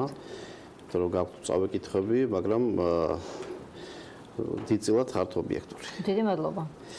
რაც შეეხება ამ ფაქტებს, მე სიმართლე გითხრათ, არ მაქვს ბევრი ინფორმაცია, მაგრამ როცა თქვენთან სტუდიაში მოვედი, ველოდებოდი ჩემს წინ ვინც გავდა სტუმარი და გარკვეული პერიოდი მე მას მოусმენი. სიმართლე გითხრათ, ცოტა დავიბენი, იცით, ახალგაზრდა კაცი ყობა ძალიან ბევრ შეთქმულებით თეორიებს, მტკიცებულებითი ნაწილი ნაკლებად იყო და ორი კითხვა გამიშთა, რომ ვინ იყო ეს ჩვენი ახალგაზრდა და რა მიზანი ქონდა. მეორე კითხვას დასრულებისთანავე გაეცა პასუხი, რომ ამ ახალგაზრდას უნდა პოლიტიკაში მოსვლა, ეს ძალიან კარგი არ არის ცუდი. მაგრამ მე ვფიქრობ პოლიტიკაში მოსვლა შეიძლება გამოცდილება, ჭირდება მზაობა, ამისათვის უნდა იყოს ადამიანი მზად და ვფიქრობ გზაც უფრო სხვა უნდა ერჩიო, ვიდრე მხოლოდ სხვების კრიტიკა და კრიტიკა კარგია, მით უმეტეს პოლიტიკას ეს ყოველთვის თანს დევს. მაგრამ არგუმენტები უნდა იყოს მეტი და არ შეიძლება შეთქმულების თეორიის დონეზე მტკიცებულებით ფორმაში შეყვანა შეურაცხყოფა. თუმცა შესაძლოა არც თქვა უამისობა იყოს, რომელიმე ფაქტი რეალურად იყოს. ამიტომ მე ვფიქრობ, საშუალება ნახეთ, რომ ეს შესაძლოა იყოს სიმართლე. არა, მე თქვენ შეგატყეთოთ თქვენს კითხვებს არ უსვამდით და ესე უჩვენად უსმენდით მას. ეს ჩემი ჩემი შეხედული მეტყობა იმ ნაწილს მოусმინა, სადაც თქვენ თუმცა ერთადერთი ის ასაუბროთ მოვიდა, იმიტომ რომ მას ქონდა ეს ჩანაწერი და მოგვიტანა.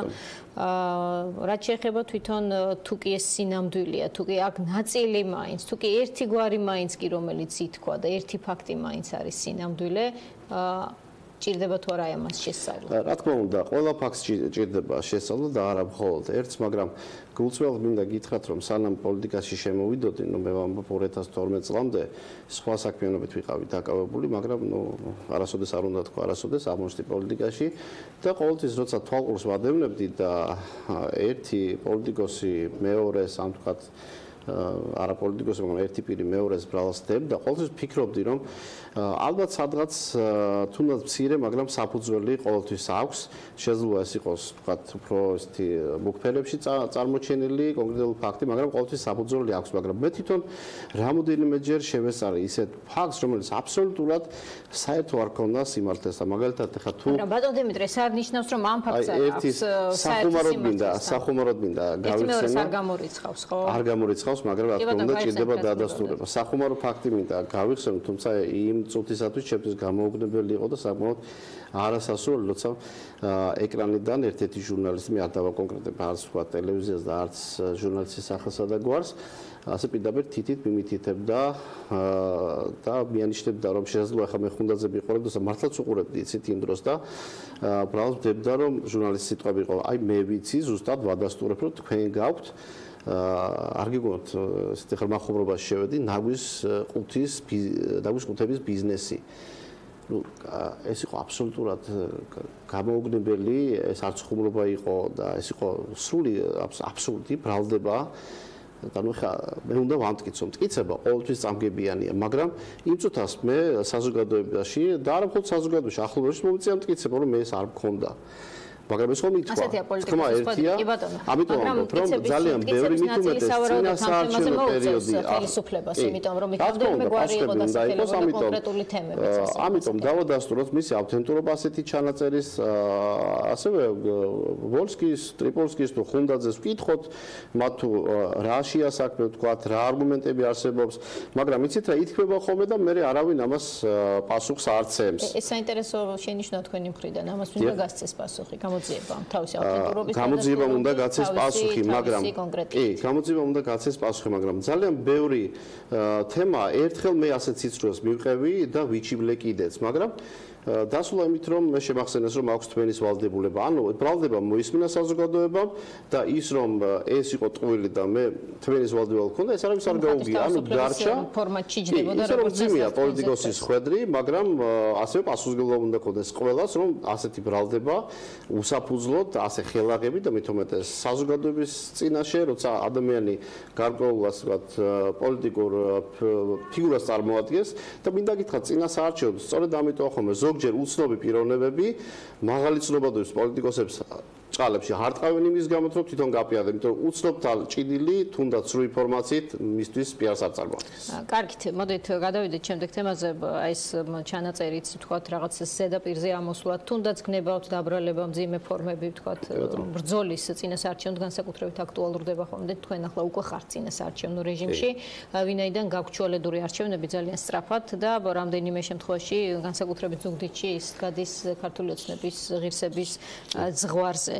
მე მაინტერესებს ამ ეტაპისთვის რითი მიდის ამ ბრძოლაში ქართული ოცნება. ეს ზოგადი კითხვაა მაგრამ მაინტერესებს თუ კი 2012-ში კონკრეტული გზავნილი გქონდა შემდეგ არჩევნებში კონკრეტული გზავნილი გქონდათ საპრეზიდენტო არჩევნებში თქვენმა ლიდერმა პარტიულმა უთხრა აუდიტორიას რომ მოღონდათ სამერთხელაც მომეცით შანსი და ჩვენ მე სულ სხვანაირად მოვიქცევით აი ახლა რა შეგიძლიათ უთხრათ აუდიტორიას? ზოგადად ქართულმა ოცნებამ ქართულ პოლიტიკას შესთავაზა საზოგადოებისათვის მომგებიანი პოლიტიკა, სიტყვის თავისუფლება, მაგრამ მისთვის საკმაოდ რთული გზა აღმოჩნდა ეს.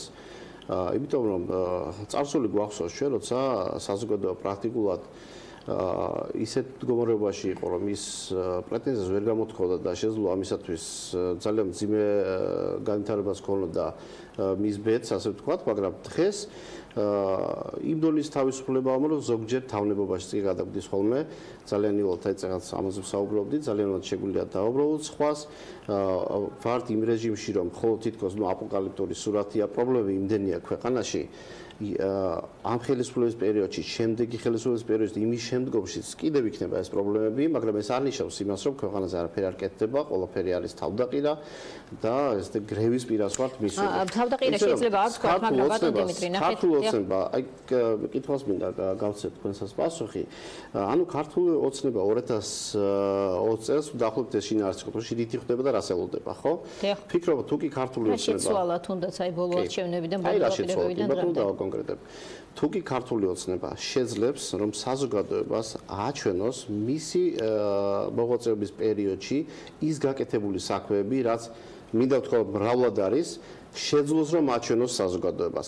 მაშინ ის შეძლებს სასურველი შედეგის მიღებას. თუ ჩვენ ისევ იმ რეჟიმში ვიყავით. ანუ იგივე თემაზე მიდიხართ რომ ეს არის ჩვენი აქტივების სკოლია. აქტივების სკოლია, რა თქმა უნდა, იმიტომ რომ ნორმალურად არის გაცილებით იმაზე ვიდრე ჩვენ გონია და საკუთარ თავზე განვიცეთ, უბრალოდ თქვენ ვერ გვაგებინებთ რომ კარგად რაღაცა პრობლემები არის, მაგრამ არც ისე მძიმედაა საქმე, როგორც საზოგადოებას მიეწოდება. მაგალითად ის რომ მიხელ სააკაშვილი ამბობს რომ ესე იგი ქვეყნიდან მოსახლეობა ჩემ პერიოდში ანუ მისი მოღვაწეობის COVID-ის პერიოდში უფრო ცოტა გადიოდა ვიდრე ეხლა და მილიონზე მეტი ადამიანია გასული. ხა მე წამოგიღეთ თქვენ მონაცემები, სტატისტიკურ როცა მის პერიოდს ეხება დიცილა და მე ჩვენ პერიოდსაც რა თქმა უნდა.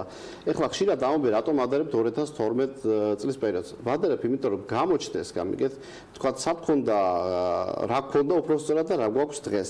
მინდა გითხრათ რომ სრული პასუხისგან მე ამ პროცესს დაგიტოვებთ, ეს ოფიციალური, უბრალოდ გაგიმარტივეთ თქვენ საქმე და წამოგიღეთ ამ მონაბეჭი. თქვენ შეგიძლიათ შეხედა და უცებ ნახოთ.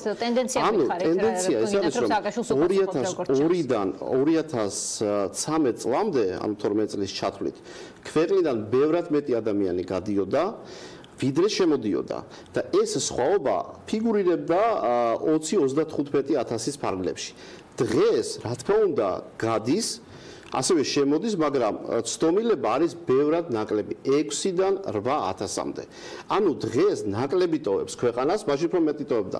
იცით რა, ეს ჩვენ ერთმანეთსგან ვაძახთ, მაგრამ როდესაც მაღალი პოლიტიკური თანამდებობის პირი, ყოფილი პრეზიდენტი, ასე ვთქვათ, ერთ-ერთი ოპოზიციური, ძლიერი ოპოზიციური ფლანგის იდეური ხელმძღვანელი ამბობს ამისთან, ანუ ტყუილს, ნუ ეს მიუღებელია. ახლა როცა იგივე ვთქვათ, ზურაბ ჭიაბერაშვილი გამოდის და ამბობს რომ ისეთ რა თურმე დემოგრაფიული პოლიტიკა ჩვენი ჩვენი ანუ ქართული ოცნების ხელში დადგა თავდაყირა. დემოგრაფიული პოლიტიკა ეს არის გრძელვადიანი პოლიტიკა და როგორ შეიძლება რომ ეს არც მათი ხელისუფლების ბრალია. ეს არის 90-იანი წლების შემდეგ პოლიტიკური, ეკონომიკური, ასე ვთქვათ, ვარყევები, ვარდნები, მას შემდეგ შობადობა შემცირდა, გარდაუვალი შობადობის რეჟიმში ეხლა აბრალებენ, აბრალებენ სტატისტიკის ნაციონალური მოძრაობის ბრალი, არც ქართული ოცნების, მაგრამ ქართული ოცნების დამსახურება ამაშია, რომ მყარ დემოგრაფიულ პოლიტიკას ახორციელებს და შედეგი დღესაც შეხედეთ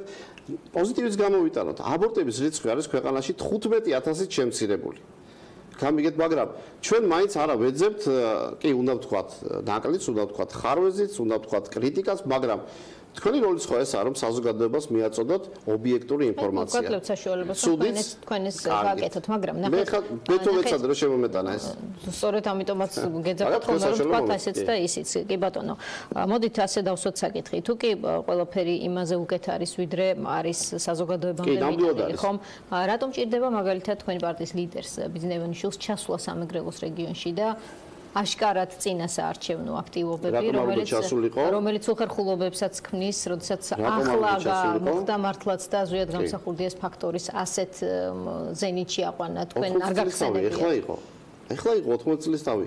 ჯერეთი პარტიის ლიდერი, თუნდაც ეს ხოსპი არის, თუნდაც ეს ხოსპი არის ნაცელი. თქვენ ხო პიარ სპეციალისტი ხართ? არა. არა? მედიის სპეციალისტი ვარ. მედიის. თუ ყოსტოში ახლოსაა პიარი, ხო? ანუ პიარი არ არის დანაშაული. და პარტიის ლიდერი ეს არის პარტიული ორგანიზაციის ლიდერი. პარტიას აქვს წინასაარჩევნო პერიოდი. თუკი ბიძინა ივანიშვილი პარტიის ლიდერი წინასაარჩევნო პერიოდში უფრო მეტგან მივა ვიდრე ჩვეულებრივ, ეს არ არის დანაშაული. ანუ აღიარებთ რომ ეს წინასაარჩევნო ნაბიჯია. არა, ეს იყო 80 წლის თავი და ამიტომ ვიდა საკუთარ ბაგალიცებს გეტყვით. მე ჩემს საარჩევნო ოლქში მეორედ ვარ, ასე ვთქვათ, დეპუტატი ჩემი მოქალაქეების წყალობით. მე საარჩინო საარჩინო პერიოდში პრაქტიკულად ყოველ დღე ადრიანა დილიდან გვიანობამდე დავდიოდი სოფლებში. დღეს ასე არ დავდივარ. ეს ხო შეუძლებელია და წარმოუდგე და არ შეიძლება რომ თქვა რა სიხშირით დადიხართ? დღეს? ძალიან ხშირად დავდივარ, მაგრამ არა იმ სიხშირით, როგორც წინა საარჩევნო კამპანია გასაგებია, მაგრამ როდესაც შენ ჩადიხარ და წინა საარჩევნოთ მილიონების დახარჯვას პირდები აუდიტორიას კონკრეტულ საქმეზე, კონკრეტულ სივრცეში, კონკრეტული ადამიანის პოპულარობაზე მიმულს, შენ როგორ როგორ შეიძლება გენდოს საზოგადოება, როცა ეს პირდაპირ კავშირშია, თქვა პირველი არის ბატონო, ბიზნესი, კავშირშია მხოლოდ არჩევანი. არ არის დღეს მხოლოდ ეს დანახარჯი, და არ არის მხოლოდ სამეგრელოში. მთელ საქართველოსია მისი დაახლოებით არის 3 მილიარდი დოლარის ოდენობის ქველმოქმედება. ეს არის ყო პირველი, ეს არის ყო საარჩევნო ქველმოქმედება. ეს უკეთ რატომ დღეს, იმიტომ რომ 80 წლის თავია, ეხლა იყო. 75-იც თქვენ ხელში იყო თქო თქვენი ხელისუფლების. მაშინაც გვალით არის. სამეგრელოში პირველი არის ბატონი ბიზნეს. მიგეხედათ ხიბულასთვის, მიგეხედათ თქვა იქ მდგომარეობის დაგესვათ საკითხი გამოძიების მისი შვილები მithumeteში შვილები. წარმოგადგენელმა ჩემ ამორჩეულ მისაყვედუროს. მისთვის არ არის დიდად მნიშვნელოვანი თქვა მე საარჩევნო საარჩევნო პერიოდში არჩევნებისთვის მივდივარ თუ ვთქვათ არჩევნების პერიოდის მიღმა უფრო ნაკლები სიხშირით. მას უნდა რომ მასთან ხშირად ვიყო.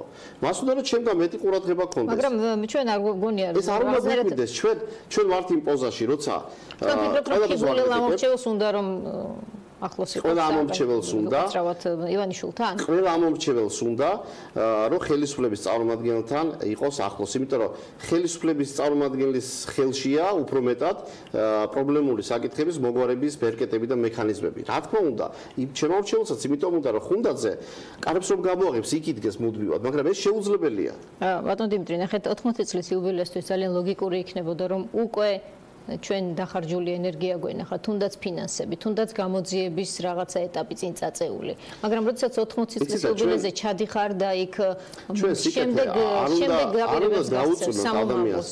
ბიზნესმენში არ ჩასულა ხელისუფლების ფულით. ბიზნესმენში ჩასვლა არ იყო მხოლოდ პირველი გამიგე და მისი ქველმოქმედება არ იყო პირველი ჩვენ დავაბრალოთ რომ ეს არის საარჩევნო ქველმოქმედება. მაგრამ საერთოდ მოქმედებაში ჩაჯდა 600000 ადამიანისთვის გადახდილი ვალები და გისაყუდროთ არაერთმა საერთაშორისო ორგანიზაციამ მათ შორის პარტნიორ ქვეყნების მონიტორინგებში. მოხდეს ნეგატიური სიკეთე იგივე გზით მიდის ანუ სიკეთე არ უნდა არ უნდა დაუწნოთ მით უმეტეს მართლ გუნდს. კიდევ ერთხელ ჩვენ სოციალურად დაუცველთა რაოდენობა ყავს 450000 ეხლა ეს პროგრამები იყო არჩევნებამდე იყო არჩევნების შემდეგაც იქნება არჩევნების პერიოდშიც ეხლა ჩვენ ამიტომ გადავდოთ, ეხლა რომ ვიღაცამ საარჩევნო თავდაგობრალოს, ეხლა თქვენ თუ დააკვირდებით, ყოველ დახევარ წელში არჩევნებია. მაშინ ბატონ ბიზნესმენში რატომ არ ჩავიდა, აა თქვა საპრეზიდენტო არჩევნებამდე იქ. უფრო ხოცხვილი არჩევნები იყო, ვიდრე თქვა ხოლმე. ახლა აბსოლუტურია გაქცეთ, რომ კენჭსიყრის სანდრა რულოვსი, რომელიც ბიზნ მიხელ სააკაშვილმა თქვა, რომ ბარმეო. და თქვენ გაქვთ იქ ღირსების არჩევნები. ამიტომ ჩავიდა, მე შემიძლია ეს კი პასუხო თქვა, მაგრამ იქით ამიდასტურებთ, რომ ეს ამიტომ არ მომხდარა. ამიტომ არ მოხდარა და თუ კი ვთქვათ რისკები მიხეილ სააკაშვილის არის მაღალი, თუნდაც ამის გამო მე ამ პარტიის წარმომადგენელი, ან თვითოული ამ პარტიის წარმომადგენელი, ან ლიდერი უფრო მეტ ყურადღებას იჩენს და ჩადიოდეს. ფიქრობ, ეს არის არა მხოლოდ ჩვენი ღირსების, არამედ ჩვენი საზოგადოების და ქვეყნის უსაფრთხოების საკითხი. ეს არის უსაფრთხოების საკითხი. თუ კი ჩემი უხერხულობა გადის ქვეყნის სარგებელზე, მე ამ უხერხულობას მივიღებ. ანუ მიხელ სააკაშვილის თქვენ ნახეთ გაბრუნება მისი პარტიის ზუგდიდის მოგება იმდენ მნიშვნელოვანია რომ ამისთვის ღირს მნიშვნელოვანია ეს არ დაბრუნდა წარსულში. მნიშვნელოვანია არ დაბრუნდა დაბრუნდა წარსულში. თქვენ გუში ნახეთ ხა ექს-პრეზიდენტის განცხადები. ადამიანმა დღემდე ვერ გაიგო რატომ გაუშვა საზოგადოებიდან პოლიტიკიდან. არათუ ვერ გაიგო ის არათუ ბოდის სიხდის, არამედ პირიქით ამაყობს იმ 9 წელზე, რაც მოხდა და მაგალითად მოყავს რომ თურმე სხვაგანაც ქუჩაში ხრეტენ, სხვაგანაც ციხეებში, ასე ვთქვათ, ძალადობენ და ბიზნესს ათქონდა ზეწოლა მაშინ და ეს იყო საუკეთესო წლები ქვეყნის, ასე ვთქვათ, წისვლის, ახლა წარმოუდგენელი, წარმოუდგენელი ხარ თვითონ 2012 წლის არჩევნები იყო პასუხი. ბატონ დიმიტრი. ამაზე სამწუხარო დღესაც გვიწევს პასუხი. ისეთი რა დაემართა ისეთი რომ ასეთი გამოწვევის წინაშე და ზუგდიდი არ წააგოს მიხელ ყველაზე ყველაზე დიდი ასე ვთქვათ მინუსი რომ დღეს ოპოზიცია არის ისე ვის ვიც აქამდე იყო. აი ეს არის. ეს ჩვენი მინუსიცაა, იმიტომ რომ ოპოზიციური ფლანგი არის цаრია. რომ ოპოზიციის სიძლიერე არის ხო? თქვენ მინუსი გაქვთ ვიღაცას ამ შემთხვევაში პლუსი გაქვთ. რა თქმა უნდა, მე ხა საკუთარი მინუსიც ვაღიარე. ის რომ ოპოზიციის ფლანგი არის ისე ვის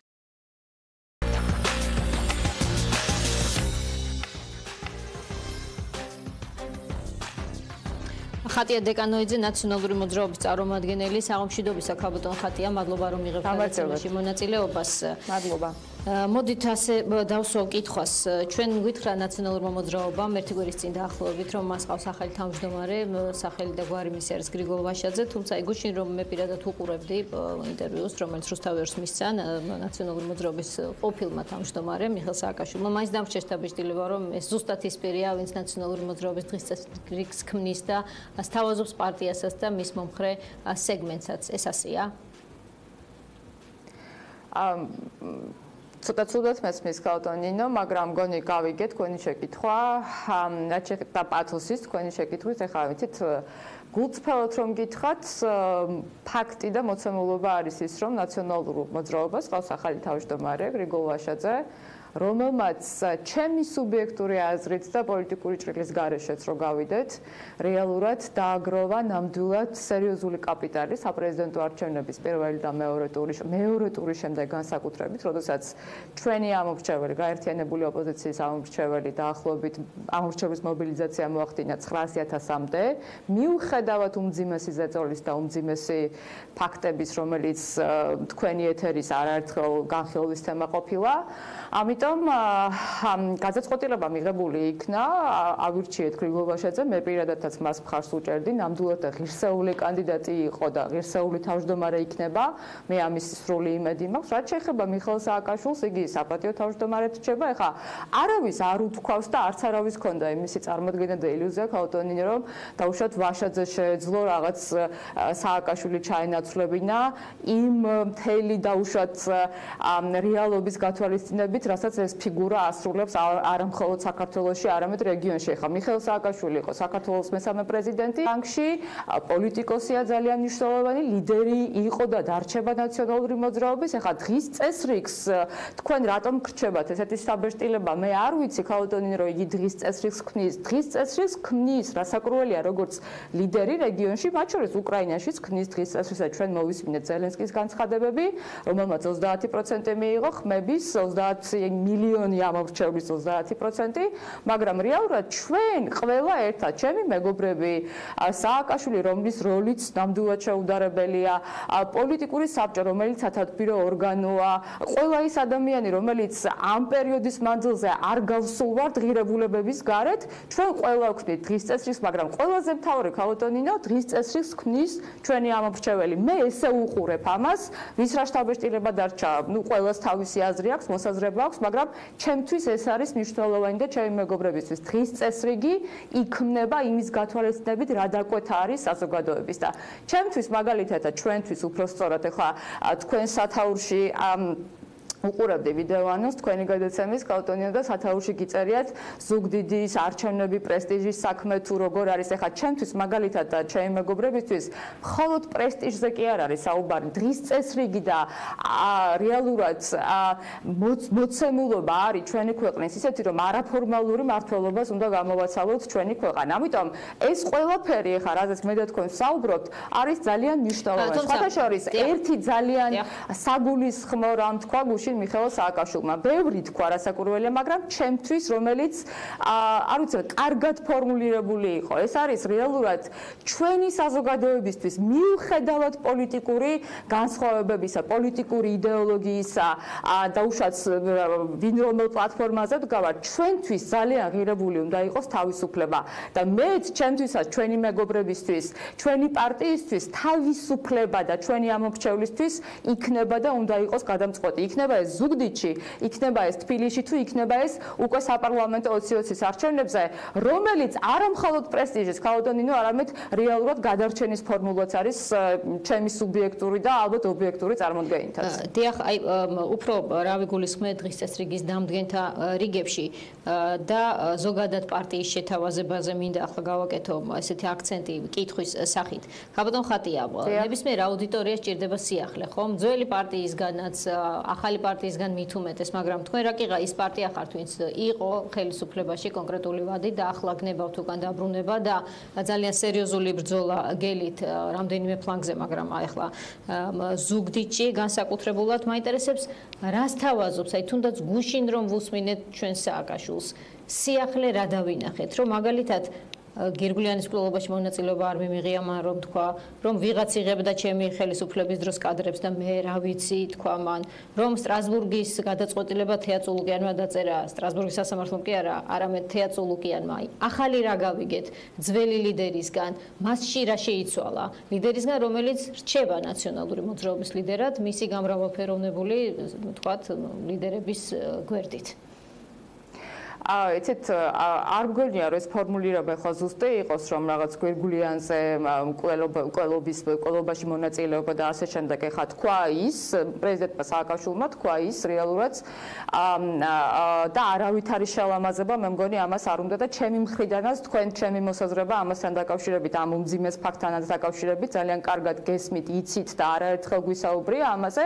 რეალურად იყო იმისი დადასტურება რომ ეს იყო ნამდვილად მძიმე ფაქტი თუმცა ეხა ზუსტად უშუალოდ მონაწილე რასაკვირველია პრეზიდენტი სააკაშვილი არ ყოფილა, მაგრამ ჩვენი მხრიდან, ჩვენი პარტიის მხრიდან, მათ შორის მიშას მხრიდანაც ძალიან ბევრჯერ ამ ფაქტის, როგორც ძალიან ძიმე ფაქტით შეფასება რეალურად ეხლა არაერთხელ მომხდარა, მაგრამ ქალტონდინო, იცით, აი ძალიან მინდა გულწრფელად გაგიზიაროთ ერთი რამ, აი არ ვიცი ეხლა სანამ შემოვიდოდი თქვენს კოლეგებთან ერთად საუბრობდით ზოგადად და აი დამებადა ერთი ძალიან ისეთი მნიშვნელოვანი მოსაზრება, შეჭ მუდმივად აი რა გავიგეთო ახალიო და მე მაგალითად ჩემთვის გუშინ რო უსმენდი და ზოგადად აი ბოლო თვეების განმავლობაში ასევე უკრაინის არჩევნების შემდეგ განსაკუთრებით მებადება ერთი ძალიან მნიშვნელოვანი მოსაზრება. აი მუდმივად წარსულზე საუბარი მუდმივად წარსულზე გადაკაჩვა მიუხედავად ჩვენი ხელისუფლების 9 წლიანი თავისი ძალიან დიდი მიღწევები თავისი რაღაც დაუშვათ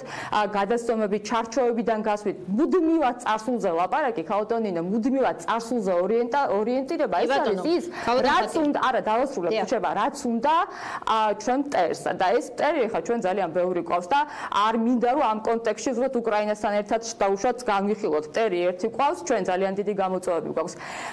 სოფლიო ვითარდება. აი ზუსტად ამაზე ამას გაუსვა ხაზი მიხეილ სააკაშვილმა გუშინ. სოფლიო ვითარდება ტექნოლოგიები ვითარდება საერთოდ სხვა პოლიტიკური მოცემულობა რაღაცა პოლიტიკური ესტაბლიშმენტი იცვლება და ადამიანები ამომრჩევ მარჩევლის დაუშვათ დაკვეთა სხვა არის და ჩვენ საუბრობთ იმაზე წარსულზე წარსული უნდა შეფასდეს ისტორია აუცილებლად შეაფასდეს მაგრამ ეხა გერგულიანზე საუბრობთ ჩვენთვის უმძიმესი ფაქტია ნამდვილად მართლაც მაგრამ ეხა ქართულ უსმენდი თქვენს წინა უსმენდი რა მოსაწყენად საუბრობდა ძალიან მაგრამ თქვენს წინა გამომსვლოს მართველი პარტიიდან და რეალურად ზის მართველი პარტიის წარმომადგენელი რომელსაც გერგულიანის მოსამართლე მურუსიძეზე ზედამთვარი ამოსთით ყოველას ერთად და პარლამენტის თავმჯდომარეს უნდა რომ ეს ადამიანი იყოს რეალურად მუდმივად სასამართლოში ბიძინა იმიტომ რომ ბიძინა ივანიშვილს უნდა არაფორმალურ ლიდერს და ეს ადამიანი ზის და თავის იმართლებს ეხა აი ამ სიტუაციაში როცა მსოფლიო ნამდვილად იცვლება ეს ძალიან ძიმე საყურებელია კავტონინო ამიტომ ყველა იმ ფაქტის გათვალისწინებით რაც იყო მიღწევა 9 წლის განმავლობაში რაც იყო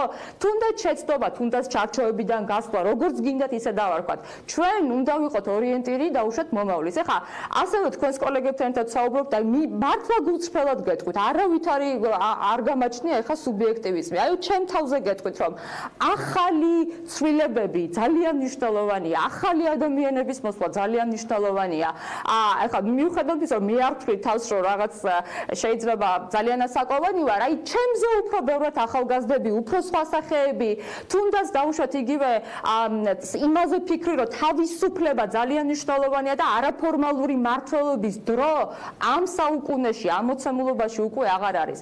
რაც შეეხება როდესაც საუბრობთ იმაზე რაც გთავაზობთ ახალს ახლა გუშინ სააკაშვილმა ბევრი შეიძლება დავეთანხმოთ შეიძლება არ დავეთანხმოთ. ეს ყველა ადამიანის თავისი დაუშვათ ისეთ უფლებაა მაგრამ ძალიან ბევრი ასე ვთქვათ საინტერესო მოსაზრება წარმოთქვა. იმასთან დაკავშირებით რომ რეალურად სხვა საფეხურზე შეიძლება გადავიდეს მათ შორის ამორჩევლის მონაწილეობა თუნდაც გადაწყვეტილებების მიღებაში. ხა როგორ იქნება ეს პირდაპირ დემოკრატიით ელექტრონულად დაუშვათ წარმომადგენლობითი დემოკრატიის შემცირებით და შემდეგ. ეს გარჯის საგანია ეს რეალურად სხვა ამბავია მაგრამ ჩვენ უნდა ვიფიქროთ იმაზე რომ ჩვენს ქვეყანაში როდესაც ასეთი ცვლილებები ხდება მსოფლიოში და მოცემულობები იცვლება ხო?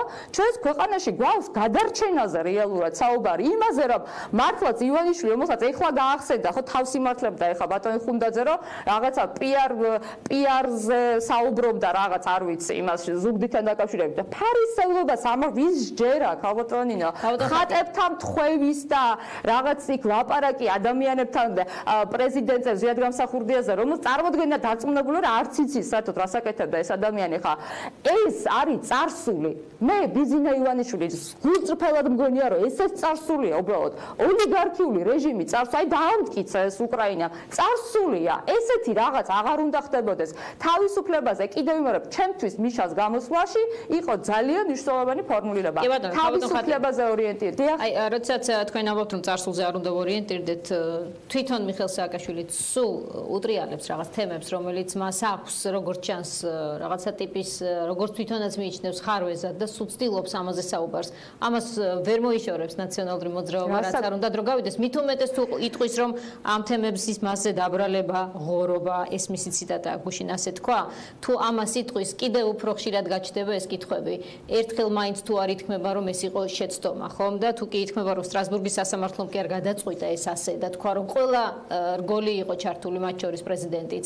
არამედ ეს დაწერა წულუკიანმა თუ კი ასე ითქმება უბრალოდ ეს მინდოდა რომ ამით მინდოდა გამოხმაურებოდი თუმცა სხვა კითხვა მაქვს. დიახ მე მივახერხე აი ერთიც იცით რა ზოგადად მინდა გითხრათ რომ წარსულის შეფასება და წარსულზე კითხების დასმაზე კი არ ვკამათობთ ახლა. მე არ ვკამათობთ უბრალოდ ჩემ მოსაზრებას კი არ ვამბობ. რა საკურველია კითხვები უნდა დაისვას? რა საკურველია ხა? მეც მაქვს ჩემი მოსაზრებები. შეიძლება ობიექტური იყოს ეს მოსაზრებები შეიძლება სუბიექტური იყოს. თქვენ როგორ ჟურნალისტები ხა? მიხელ სააკაშვილს უწევს ამაზე საუბარი. ჩვენ მუდმივად გვიწევს ამაზე საუბარი 7 წლის მანძილზე. ხალტონინო 7 წლის დისკრიმინაციის სერიოზული პრესინგის სერიოზული ზეწოლის რა ვიცი მთელი ფონზე რომელიც ხდებოდა ხო ჩვენს ჩვენი მიმართულებით ამ წლების მანძილზე მაგრამ სააკაშვილი როგორც პრეზიდენტი ქვეყნის რომელმაც კიდევ ვიმეორებ შეიძლება სხვადასხვა გვარად შევაფასოთ დაუშვათ განვლილი ჩვენი მართლობის პერიოდი და თქვენ კონდეს უფლება მაგრამ ხო უნდა თქვათ რომ ეს რეალურად 2003 წლის ქვეყანა და 2012 წლის ქვეყანა რეალურად განსხვავდებოდა ხო? ანუ განსხვავება იმდენად დიდი იყო რომ ამ განსხვავებაზე მაგალითად მე და ჩემი მეგობრები რეალურად ამ განსხვავებების ექსპორტს ვაკეთებთ გაკეთებით და რა ვიცი ხა ეს არის ეს არის მოცემულობა. კითხვები უნდა დავსვათ, მაგრამ ივანიშვილის არაფორმალური მართლობის, აკო და ივანიშვილის გვარზეც არა მაქვს საუბარი, უბრალოდ აი ასეთი ასეთი მიდგომების ადამიანების რეალურად ამოსავალი წერტილი რა არის? პირველი, რომ საკუთარი უსაფრთხოება და საკუთარი კაპიტალის უსაფრთხოება დაიცვან ზუსტად წარსულზე ორიენტირით, რომ ყავდეთ დაუშვათ რაღაცა დემონიზაციის ჯგუფი, რომელსაც დააბრალებენ ყველაფერს და ეს უკვე აღარ მუშაობს, ეს ერთი. მეორე, ამ ადამიანების და მათი ჯგუფის მთავარი მოცემულობა და მთავარი ამოსავალი წერტილი არის, რომ რეალურად კარგად იყვნენ მხოლოდ დაუშვათ მათი მართველი და ის ადამიანები, რომლებიც მიტმასნილები არიან ამ მართველობას, აი მურუსიძეზე ვისაუბრეთ მე და თქვენ და მესამე ძალიან მნიშვნელოვანი მათ და მათ შორის იმანიშვილს ქვეყანა არ ადარდეთ. ქაოტონინა ეს არის ჩვენ შეიძლება კიდევ რომ განსხვავებები გქონდეს პოლიტიკურ იდეოლოგიაში. ეს დემოკრატიის მნიშვნელოვანი ნაწილია. პოლიტიკური და იდეოლოგიური განსხვავებები. მაგრამ როდესაც ჩვენ ხედავთ რომ ჩვენ კამათობთ არა იმაზე თუ რაღაც დაუშვათ ის მურუსიძე რაღაცა გვარებზე ვლაპარაკობთ რაღაცა იქ ოხანაშვილი რაღაც გაუგებარი და ამ დროს ხელიდან გვეცლება ყველაზე მნიშვნელოვანი განვითარება და თავისუფლება ამიტომ ვამბობ, რომ შეფასება წარსულის მნიშვნელოვანია, მაგრამ კიდევ ვიმეორებ, ჩვენთვის ორიენტირი უნდა იყოს მომავალი და განვითარება. მომავალი აუცილებლად. და აი აქ გამიჩნდა მაგალითად ეს სიახლე იყო ჩემთვის, რაც მოვისმინე, მას კითხა. ჟურნალისტმა ვინც ვინც იჯდა მიხელ სააკაშვილთან თქვენ თანახმა იყავით ქვეყანაში რუსული ბაზების დატოვებაზეც და ნატოზეც უარი დატოვებაზეც და ნატოზეც უარს ამბობდით ტერიტორიული მთლიანობის სანაცვლოდო და მან უპასუხა კი ჩემთვის ჩემი ქვეყანა ამთავარიო. აი ახლა აქ აქ რა გავიგოთ ჩვენ ეს არ ვიცოდით ამ დრომდე. მე არ ვიცოდი ყოველ შემთხვევაში ყურადღებით ვადევნებ ყველაფერს თვალს ყოველ შემთხვევაში ამ მიმართულებას განსაკუთრებით. უკაცრავად ხო აა კიდევ მეორებ ხა მე ინტერპრეტაციას ვერ გავაკეთებ. მე მაგალითად ამაში ჩემთვის აა არის მხოლოდ და მხოლოდ ის რა, რაც თქვა პრეზიდენტმა ადამიანმა, რომელიც იყო ქვეყნის მართველი. დაუშვათ ქაუტონინა ჩვენ რო კითხოთ ნებისმიერ ადამიანს, აი მაგალითად მე კითხავს თქვენ ახლა მან სტუმარი გიზით ხო, ბატონ კაკო კაკოს კითხოთ, კითხოთ რა ვიცი გარეთ გავიდეთ რომ რა არის ყველაზე დიდი პრობლემა ჩვენს ჩვენი ქვეყნისთვის. რეალურად კი ეკონომიკა, სოციალური დაუშვათ გაჭირვება, უმძიმესი დაუშვათ ფორმა, რომელშიც ჩვენი ადამიანები ცხოვრობენ და ეს უკვე უკვე იზრდება და უშუალოდ ეს ძალიან დიდი უფსკული, მაგრამ ჩვენ ქვეყნისთვის უსაფრთხოების გამოწვევები და ტერიტორიული მთლიანობა ეს არის ის ძალიან მნიშვნელოვანი ქვაკუთხედი განვითარების და უსაფრთხოების, რომელიც ჩემთვის არის, რა ვიცი, როგორც ამ ქვეყნის მოქალაქის. აი ეს კონკრეტული მიდგომა გასაზიარ გაზიარებაა. არა, აი მაგას მე როგორ აღვიქვი ეს ყველაფერი, იმიტომ რომ ხა მე ან ჩემთვის როგორ არის, როგორც მოქალაქისთვის, როგორც ადამიანისთვის, უშუალოდ რომელიც გუშინ უსმენდა პრეზიდენტ სააკაშვილს.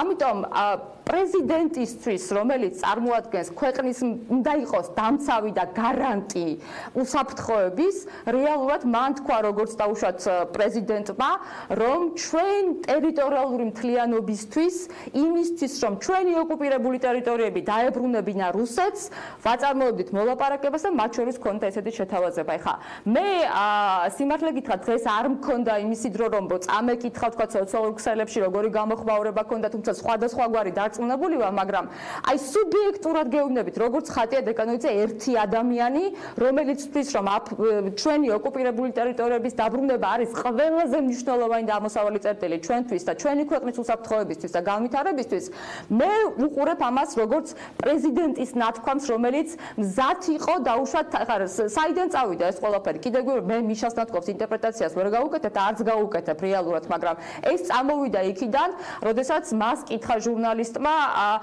რომ დაუშვათ ხო აღარ მახსოვს მაგრამ როგორ როგორ ესახებოდა მას და როგორ დაიწყო რუსეთთან დაუშვათ ურთიერთობები. და მიშამ ძალიან მარტივად თქვა რომ რუსეთთან მოლაპარაკებები არ არსებობს. საერთოდ ეს არის ფორმულა სადამდეც მივიდა დღეს ცივილიზებული სამყარო. ქაუტონინო არც უკრაინაში დაუშვათ ხა უკრაინაში ძალიან ბევრი ფორმატი იყო მათ შორის ნორმანდიის ფორმატი მაგრამ მოლაპარაკებები ხო რეალურად ხა დათმობები უკრაინა დათმობები დაუშვათ თუნდაც უკრაინის მხრე თუნდაც ზოგადად აი რაღაცა სერიოზული დიპლომატიური მოლაპარაკებები ხშირ შემთხვევაში დათბობა როგორც ამას ბიძინა ივანიშვილი ამბობს არ ჭრის. ჩვენ აღარ მე ამას უყურებ როგორც დაუშვათ ქვეყნის უსაფრთხოების და დაუშვათ ადამიანის რომელიც ვაფრთხილდება მაგრამ აი ახლა ეს რომ მეთქვა ბიძინა ივანიშვილს საინტერესოა რა სიტყვა და ნაციონალური მოძრაობა ეს იქნებოდა თუ არა გზავნილი თქვენი აქმით რუსეთის მისამართით რა? არა ჩვენი ხა ქაუტონე მე არ მგონია ეს ამას სიტყვა და სხვაბანაკიდან ვინმე. მესმის თქვა რასაც ამბობს მაგრამ მე არ მგონია ვინმე საჭუ შეეპაროს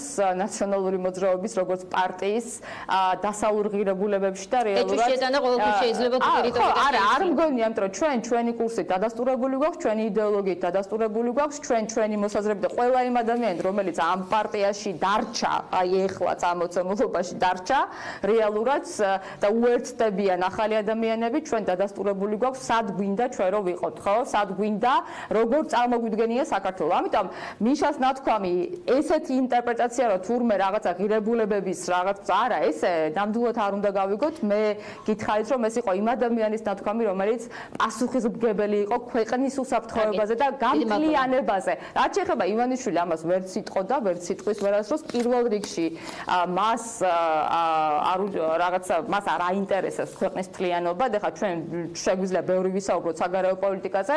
კიდევ მეორე თავარი თავისუფლება რაც თქვა ძალიან მნიშვნელოვანი მიშამ თუ კიდე იქ და თავარი ეს არის თავისუფლების იდეა ქაუტონინო რომ ამ პერიოდში ამ ძალიან მნიშვნელოვან ისტორიულ დროში ჩვენ აღარ უნდა ვსაუბრობდეთ მურუსიძეზე და აღარ უნდა ვსაუბრობდეთ ვოლსკის კორუფციაზე, რომელზეც ეხა ხუნდაძე ლაპარაკობდა. ჩვენ უნდა ვსაუბრობდეთ იმაზე, როგორ განვითარდეს ქვეყანა.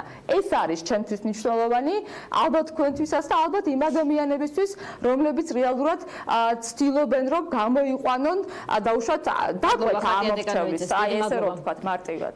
ნაციონალური მოძრაობის წარმომადგენლს რომელიც პასუხობდა ჩვენს შეკითხვებს, აკაკი ბობოხიძე გველის სტუდიაში ევროპული საქართველოს წარმომადგენელი სამშვიდობისა ბატონო გაგონაგობა გადაცემაში მონაწილეობას. საინტერესოა თქვენ ხა უსმენდით იმ პარტიის წარმომადგენლს რომელშიც თქვენც იყავით და აუდიტორია სულ უჭირს ხოლმე ზღვარის გავლება სად დარჩით თქვენ სად არიან ისინი და მით უმეტეს წინას არჩევნთ ეს თემა ყოველთვის აქტუალურდება. ვიღაც ბჭყალებს ჩავსათ ევრონაცებს გეძახით ვიღაც ევროკოცებს ასეთი გსმენიათ ალბათ და პირველი არ ვარ ვისგანაც ამას გაიგებთ აი ახლა რაც მოვისმინეთ რა განსხვავებას აჩვენებთ აუდიტორიას თქვენ თქვენსა და ყოფილ პარტიას შორის?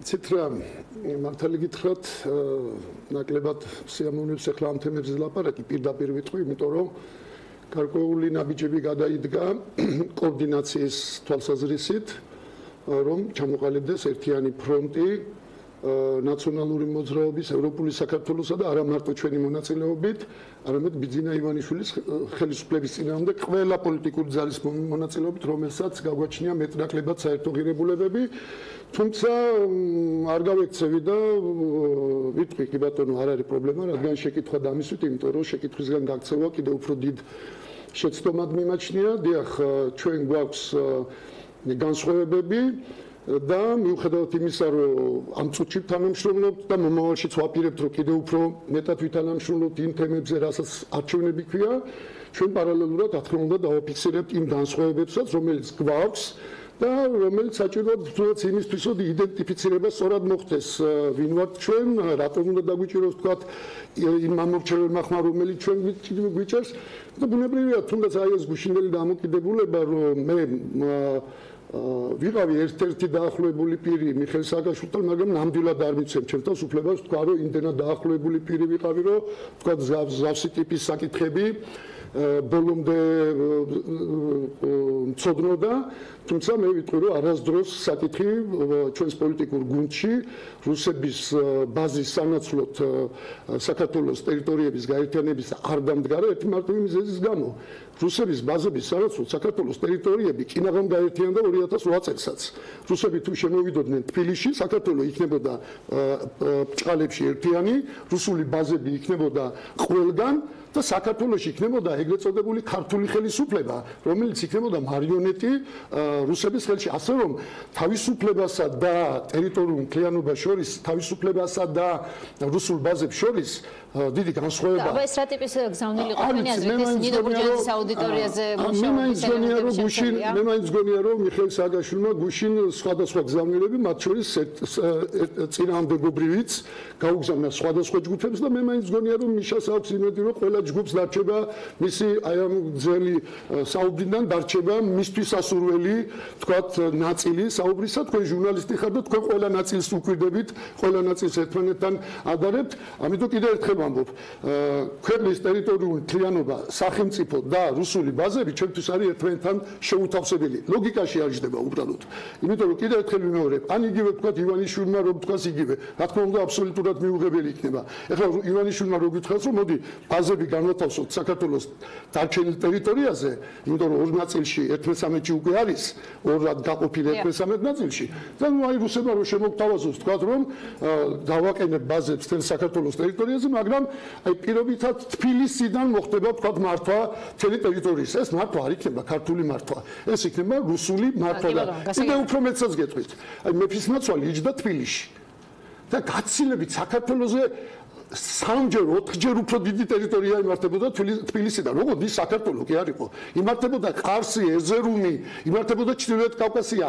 მეფის ნაცვლის გამგებლობაში, რომელიც იჯდა თბილისში, კავკასიის მეფის ნაცვლის გამგებლობაში, დაქვემდებარებაში იყო თევანდელი სომხეთის ტერიტორია, თევანდელი აზერბაიჯანი.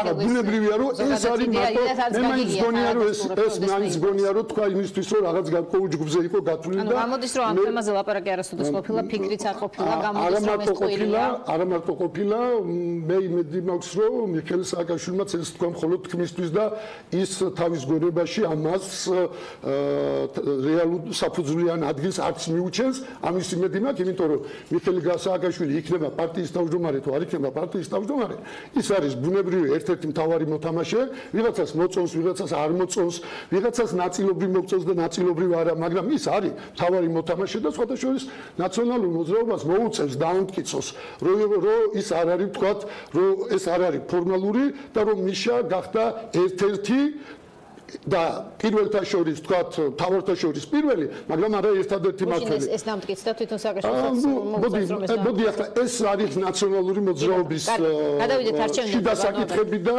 ამიტომ თუმცა ვიმეორებ რომ ნაციონალური მოძრაობის შიდა საკითხები არ არის მხოლოდ ნაციონალური მოძრაობის საკითხები, იმიტომ რომ ეს არის ერთ-ერთი ერთ-ერთი არა ამ წუთში რეალობა ესეთია, ეს არის თავარი ოპოზიციური ძალა, რომლის სწორმოქმედებაზეც არის დამოკიდებული რამდენად შეძლეთ მთლიანად ერთად ოპოზიცია შევცვალოთ ის რეჟიმი, რომელსაც ივანიშვილის რეჟიმი ქვია. ამიტომ ყველანი დაინტერესებული უნდა ვიყოთ, რომ ნაციონალურ მოძრაობაში ყველა ერთ-ერთ ყველაზე მსხვილ პოლიტიკურ გაერთიანებაში მიდიოდეს სწორი პროცესები, იმიტომ რომ ჩვენმა შეცდომებმა, არ ვამბობ მარტო ნაციონალური მოძრაობის, ზოგადად ჩვენმა შეცდომებმა შეიძლება 2020 წლის პრაქტიკულად გარანტირებული გამარჯვება შეიძლება ხელიდან გამოგვაცვალოს. ოღონდ როგორ არის თუ იცით, სუსტი შეცდომა შედეგიც შესაბამისად ცირია, ძლიერი შეცდომა რა თქმა უნდა შედეგსაც უფრო მნიშვნელოვანს რა შეიძლება 2020-მდე ვიდრე მიხვალთ რაღაცა ტიპის რეპეტიცია გაქვთ პარტიებს ოპოზიციურ სხვადასხვა ადგილას თქვენი ღირსების ზღვარი გადის და ბრძოლის ტერიტორია გაქვთ არჩეული მონიშნული მთაწმინდა ხო? მე არ ვიტყოდი რომ ეს რაღაც ღირსების ბრძოლა. მე ვიტყოდი რომ ეს არის ერთი მუდმივი პროცესი და სხვათა შორის თავის დროზე ნაციონალური მოძრაობიდან აი ჩვენი ასტასხვაობის ერთ-ერთი მთავარი მოტივი ეს იყო რომ ჩვენ ვამბობთ რომ დიახ არჩევნები არის ყველაზე მთავარი და მნიშვნელოვანი იარაღი ხელისუფლების შესაძლებლად. პირდაპირ ვიტყვი რომ მე არ ვამბობ რომ თქვათ მიტინგები, საპროტესტო გამოსვლები ეს არ არის გზა. ეს არის გზა. ოღონდ ეს არ არის ალტერნატივა არჩევნების. ალტერნატივა ყოველთვის ნიშნავს რომ ერთ თუ იქ მეორეზე ვარს ამბობ. არა, ვარს არ ვამბობ, როცა საზოგადოება ამისთვის მომზადდება და საზოგადოება მომზადდება, ისე მიდის ამ ქვეყანაში საქმე და ისე მიიყავს ხელისუფლება საქმე, ამისთვისაც მომზადდება საზოგადოება. მაგრამ მომზადდება არ მომზადდება, არჩევნები არის ყოველწლიურად პრაქტიკულად სხვადასხვა ტიპის არჩევნები. და ჩვენ ამას განვიხილავთ როგორც ერთ ერთიან პროცესს. და მიმეჩნია რომ არ შეიძლება ხელისუფლებას დაუთმოთ რომელიმე ადგილი რომელიმე ერთეული ბრძოლის გარეშე. ეს ნიშნავს რომ ან არ ანიჭებს შენ ამ ადგილს მაშინ შესაბამის მნიშვნელობას ან უკვე იმდენად სუსტი ხარ რომ ბრძოლისას ვერ ხედავ. ამიტომ მიმეჩნია რომ ყველგან ბრძოლა უნდა გაუმართოთ და თან ბიძინა ივანიშვილმა მონიშნა ზუგდიდი. და დამოკიდებულება რომ აი თავარი ბრძოლის ადგილი არის ზუგდიდი მიმეჩნია რომ არ არის სწორი. ეს ბიძინა ივანიშვილს უნდა ასე ბიძინა ივანიშვილმა უნდა მიიღოს მაგრამ გასაგებია ქართულმა ეს გასაგებია მაგრამ მე მაინტერესებს ბიძინა რას აკეთებს? ეს ბიძინა აკეთებს მე მაინტერესებს ჩვენ რას ვაკეთებთ? იმიტომ რომ ისაც ჩვენზია დამოკიდებული ის არ უნდა შეგვეშალოს. მე მინდა ქართულ ხალხს უთხრა ბრძოლისთვის ყველა ადგილი მნიშვნელოვანია ეთნაირად მნიშვნელოვანია. ჩვენ რა გვინდა რომ ზესტაფონელებს ჭიათურელებს უთხრათ რომ თქვენი არჩევანი როგორც გინდათ ისეკენით და აი ზუგდიდია მთავარი არა ხალხო თუ ჩვენ გვინდა ამ ხელისუფლებას შევავასალოთ თუ ჩვენ გვინდა რომ ბიძინა ივანიშვილი გონს მოეგოს და 2020-მდე კიდევ უფრო ძიმე შეცდომები არ დაუშვას და იმიტომ კი არ მინდა რომ ბიძინამ ძიმე შეცდომები ბიძინაზე არ ვზრუნავ არ ვფიქრობ რაც უფრო მეტ შეცდომებს დაუშვებს მეტი მალეწავა ოღონდ ეს შეცდომები ჩემ ქვეყანაზე აისახება და მე ბიძინა წამსვლელია ამ ქვეყნიდან. მისი შვილები ამ ქვეყანაში არ არის. ჩემი შვილები ამ ქვეყანაშია და ამ ქვეყანაში სავარაუდოდ ყოველ შემთხვევაში ჩემი სურვილი ასეთია რომ ამ ქვეყანაში გააგრძელონ ცხოვრება თქვენიც და ჩვენი ყველა შვილები. ამიტომ ვამბობ ხალხო რომ პრინციპული ბრძოლის ადგილია ზესტაფონიც ჭიათურაც ხულოც მარნეულიც და რა თქმა უნდა ზუგდიდი და თაცმინდა. ამიტომ ყველგან ყველგან უნდა ვიცოდეთ ერთი რამე ყველგან უნდა ვიცოდეთ და უნდა იცოდეს საქართველოს მოსახლეობამ რომ აი ამ რაიონებმა განსაკუთრებით რომ მათი პასუხისგებლობა დღეს არის გაცილებით უფრო მეტი. განსხვავებით თქვა ხონისგან ვანისგან სადაც დღეს არ ტარდება არჩევნები დღეს აქ ტარდება არჩევნები და აი ამ ხალხმა რამენაირად უნდა აჩვენონ სამოქალაქო გაბედულება იმიტომ რომ ძნელია გაუძლო იმ უზარმაზარ ძალას რასაც ხელისუფლება ქვია თან მილიარდერის ხელისუფლება. ცოტა დაგვრჩა ამიტომ მინდა ვიკითხო ის პროცესი რაც ამ მომენტისთვის არის სახეზე რომ ოპოზიცია ერთმანეთს კონკურენციაში კონკურენციას არ უწევთ და რაღაცნაირი შეთანხმება მოხდა ხომ როგორ ფიქრობთ 2020-ისთვის ეს შენარჩუნდება ევროპულ საქართველოს მიაჩნდა საპრეზიდენტო არჩევნებზეც დღესაც და მომავალში რომ ჩვენ უნდა ვიყოთ კოორდინირებული. ოღონდ კოორდინირებული ყოფნა ანიშნავს რომ მაინც და მაინც ერთი კანდიდატი მყავდეს ან მაინც და მაინც ბევრი კანდიდატი მყავდეს.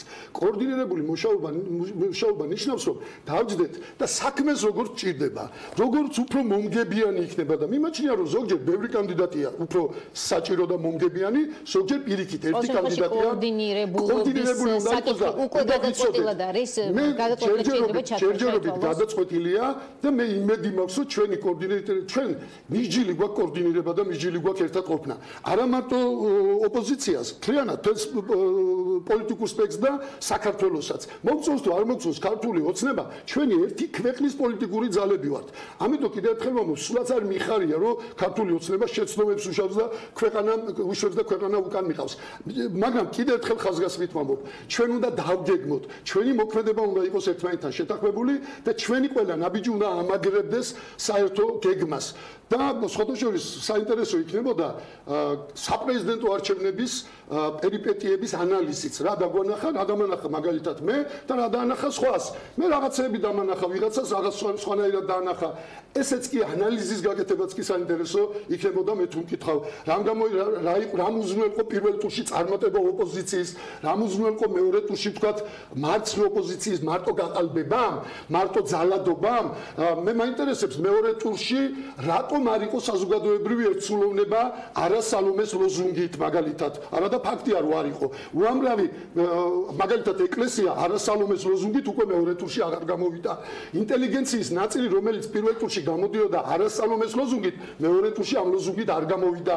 და იმათაც ბიძინამ შეუშალა ხელი არა სამთავრობოები თქვენ ჟურნალისტები. მე არ ვიცი თქვენ შეიძლება ფიქრობთ რომ იცით რა ნეიტრალურს იჭერთ თითქოს მაგრამ ჩვენ ხო ადამიანები ვართ და სინამდვილეში პირველ ტურში მთელი საზოგადოება იყო შეთანხმებული და პირველი ტური წარიმართა ლოზუნგით არა სალომეს. ოღონდ პირველ ტურში არა სალომეს, მეორე ტურში ვინმე დაგიშალათ ან თქვენ ან დათო ტურაშვილს, ან ეკლესიას, ან უსუფაშვილს, ან ელისაშვილს. მაგრამ რომ არხზე რამე იყო წარმოქმნილი დევიზის ქვეშ არა სალომეს მიმართულებით პირველ ტურში ან მეორეში თქვენ ცდილობდით რომ მე ხაზი გაუსვირო, თქვენ ცდილობდით რომ ყოფილიყავ ნეიტრალური, მაგრამ ადამიანები და რა თქმა უნდა, მაგრამ ადამიანები თავის შინაგან მდგომარეობასაც ასხივებენ. ჩანს ეს ყველაფერი და ესე ვთქვათ, რომ პირველი ტური იყო არასალომეს და აქ იყო საფრიანი თელი საზოგადოებრივი აზრი მობილიზებული. სამწუხაროდ მეორე ეტაპზე არა მეორე ეტაპისთვის ძალიან ცხრა ორიენტაცია და თქვენ ესე იგი მეორე ეტაპზე ხელისუფლებამ მოახერხა თავისი ლოზუნგის ირგვლივ ინიცირება. მაშინ როცა ჩვენ არასალომის ინიცირება უკვე ვეღარ მოახერხეთ. ამიტომ მე ეს რას გეუბნებათ ახლა აი ამ არჩევნებში არის საჭირო მოდი და ფინანსი ვარ და რეზიუმე რომ გვითხრა. ამიტომ ისე უნდა დავგეგმოთ ყველაფერი. ბიძინა ვიცით რომ ეცდება გაყალბებას, ბიძინა ვიცით რომ ეცდება მოსყიდვას. აქ ჩვენი შესაძლებლობები არის მცირე. ყველაფერი უნდა ვქნათ რომ ვერ მოისყიდოს, ყველაფერი უნდა ვქნათ რომ ვერ დააშინოს. მაგრამ ეს არის ის რასაც აკეთებს ბიძინა და რაშიც ხელი უნდა შეუშალოთ. მაგრამ არის ნაწილი საქმისა რაღაცა, რომელიც მთლიანად ჩვენზეა დამოკიდებული. ვინ იყრის კეიჩ, როგორ იყრის კეიჩ, ვის წინ გავწევთ, ვინ ვინ იქნება სათადარიგო ვარიანტი და უამრავ რამეზე შეიძლება ლაპარაკი და ის რა ჩვენზეა დამოკიდებული და არა ბიზნესზე, უნდა გავაკეთოთ აბსოლუტურად გათვლილად იმისთვის, რომ ყველა ხმა როგორ შემოვიმატოთ. არის ამორჩეველი, რომელსაც უნდა ბიზნა, არის ამორჩეველი, რომელსაც უნდა მიშა და არის ამორჩეველი, რომელსაც ჯერჯერობით ნაწყენია ბიზნესზე, კატეგორიულად არ უნდა მიშა და უნდა დავსახოთ გზები აი ამ მესამე ტიპის ამონჩეველი არანაირი მესამე ძალაზე არ მაქვს ლაპარაკი რო იცოდეთ უბრალოდ მესამე ტიპის ამონჩეველი როგორ დავაყენოთ არჩევნებზე ჩვენს ხარეზე არა ჩვენი სასარგებლოდ არამედ თუნდაც ბიზნესს მადლობა ბატონო კი მადლობა ეს შესაძლებელი მგონია. ოღონდ ამას ჭირდება კოორდინირება მადლობთ. პოლიტმეტრი დღეს ამით დასრულებულია. ჩვენს შემდეგ გელით ახალი ამბები ღამის 12-ის ნახევარზე კი დიანა ტრაპაიძე და გია ხუხაშვილი ღამის ამბებში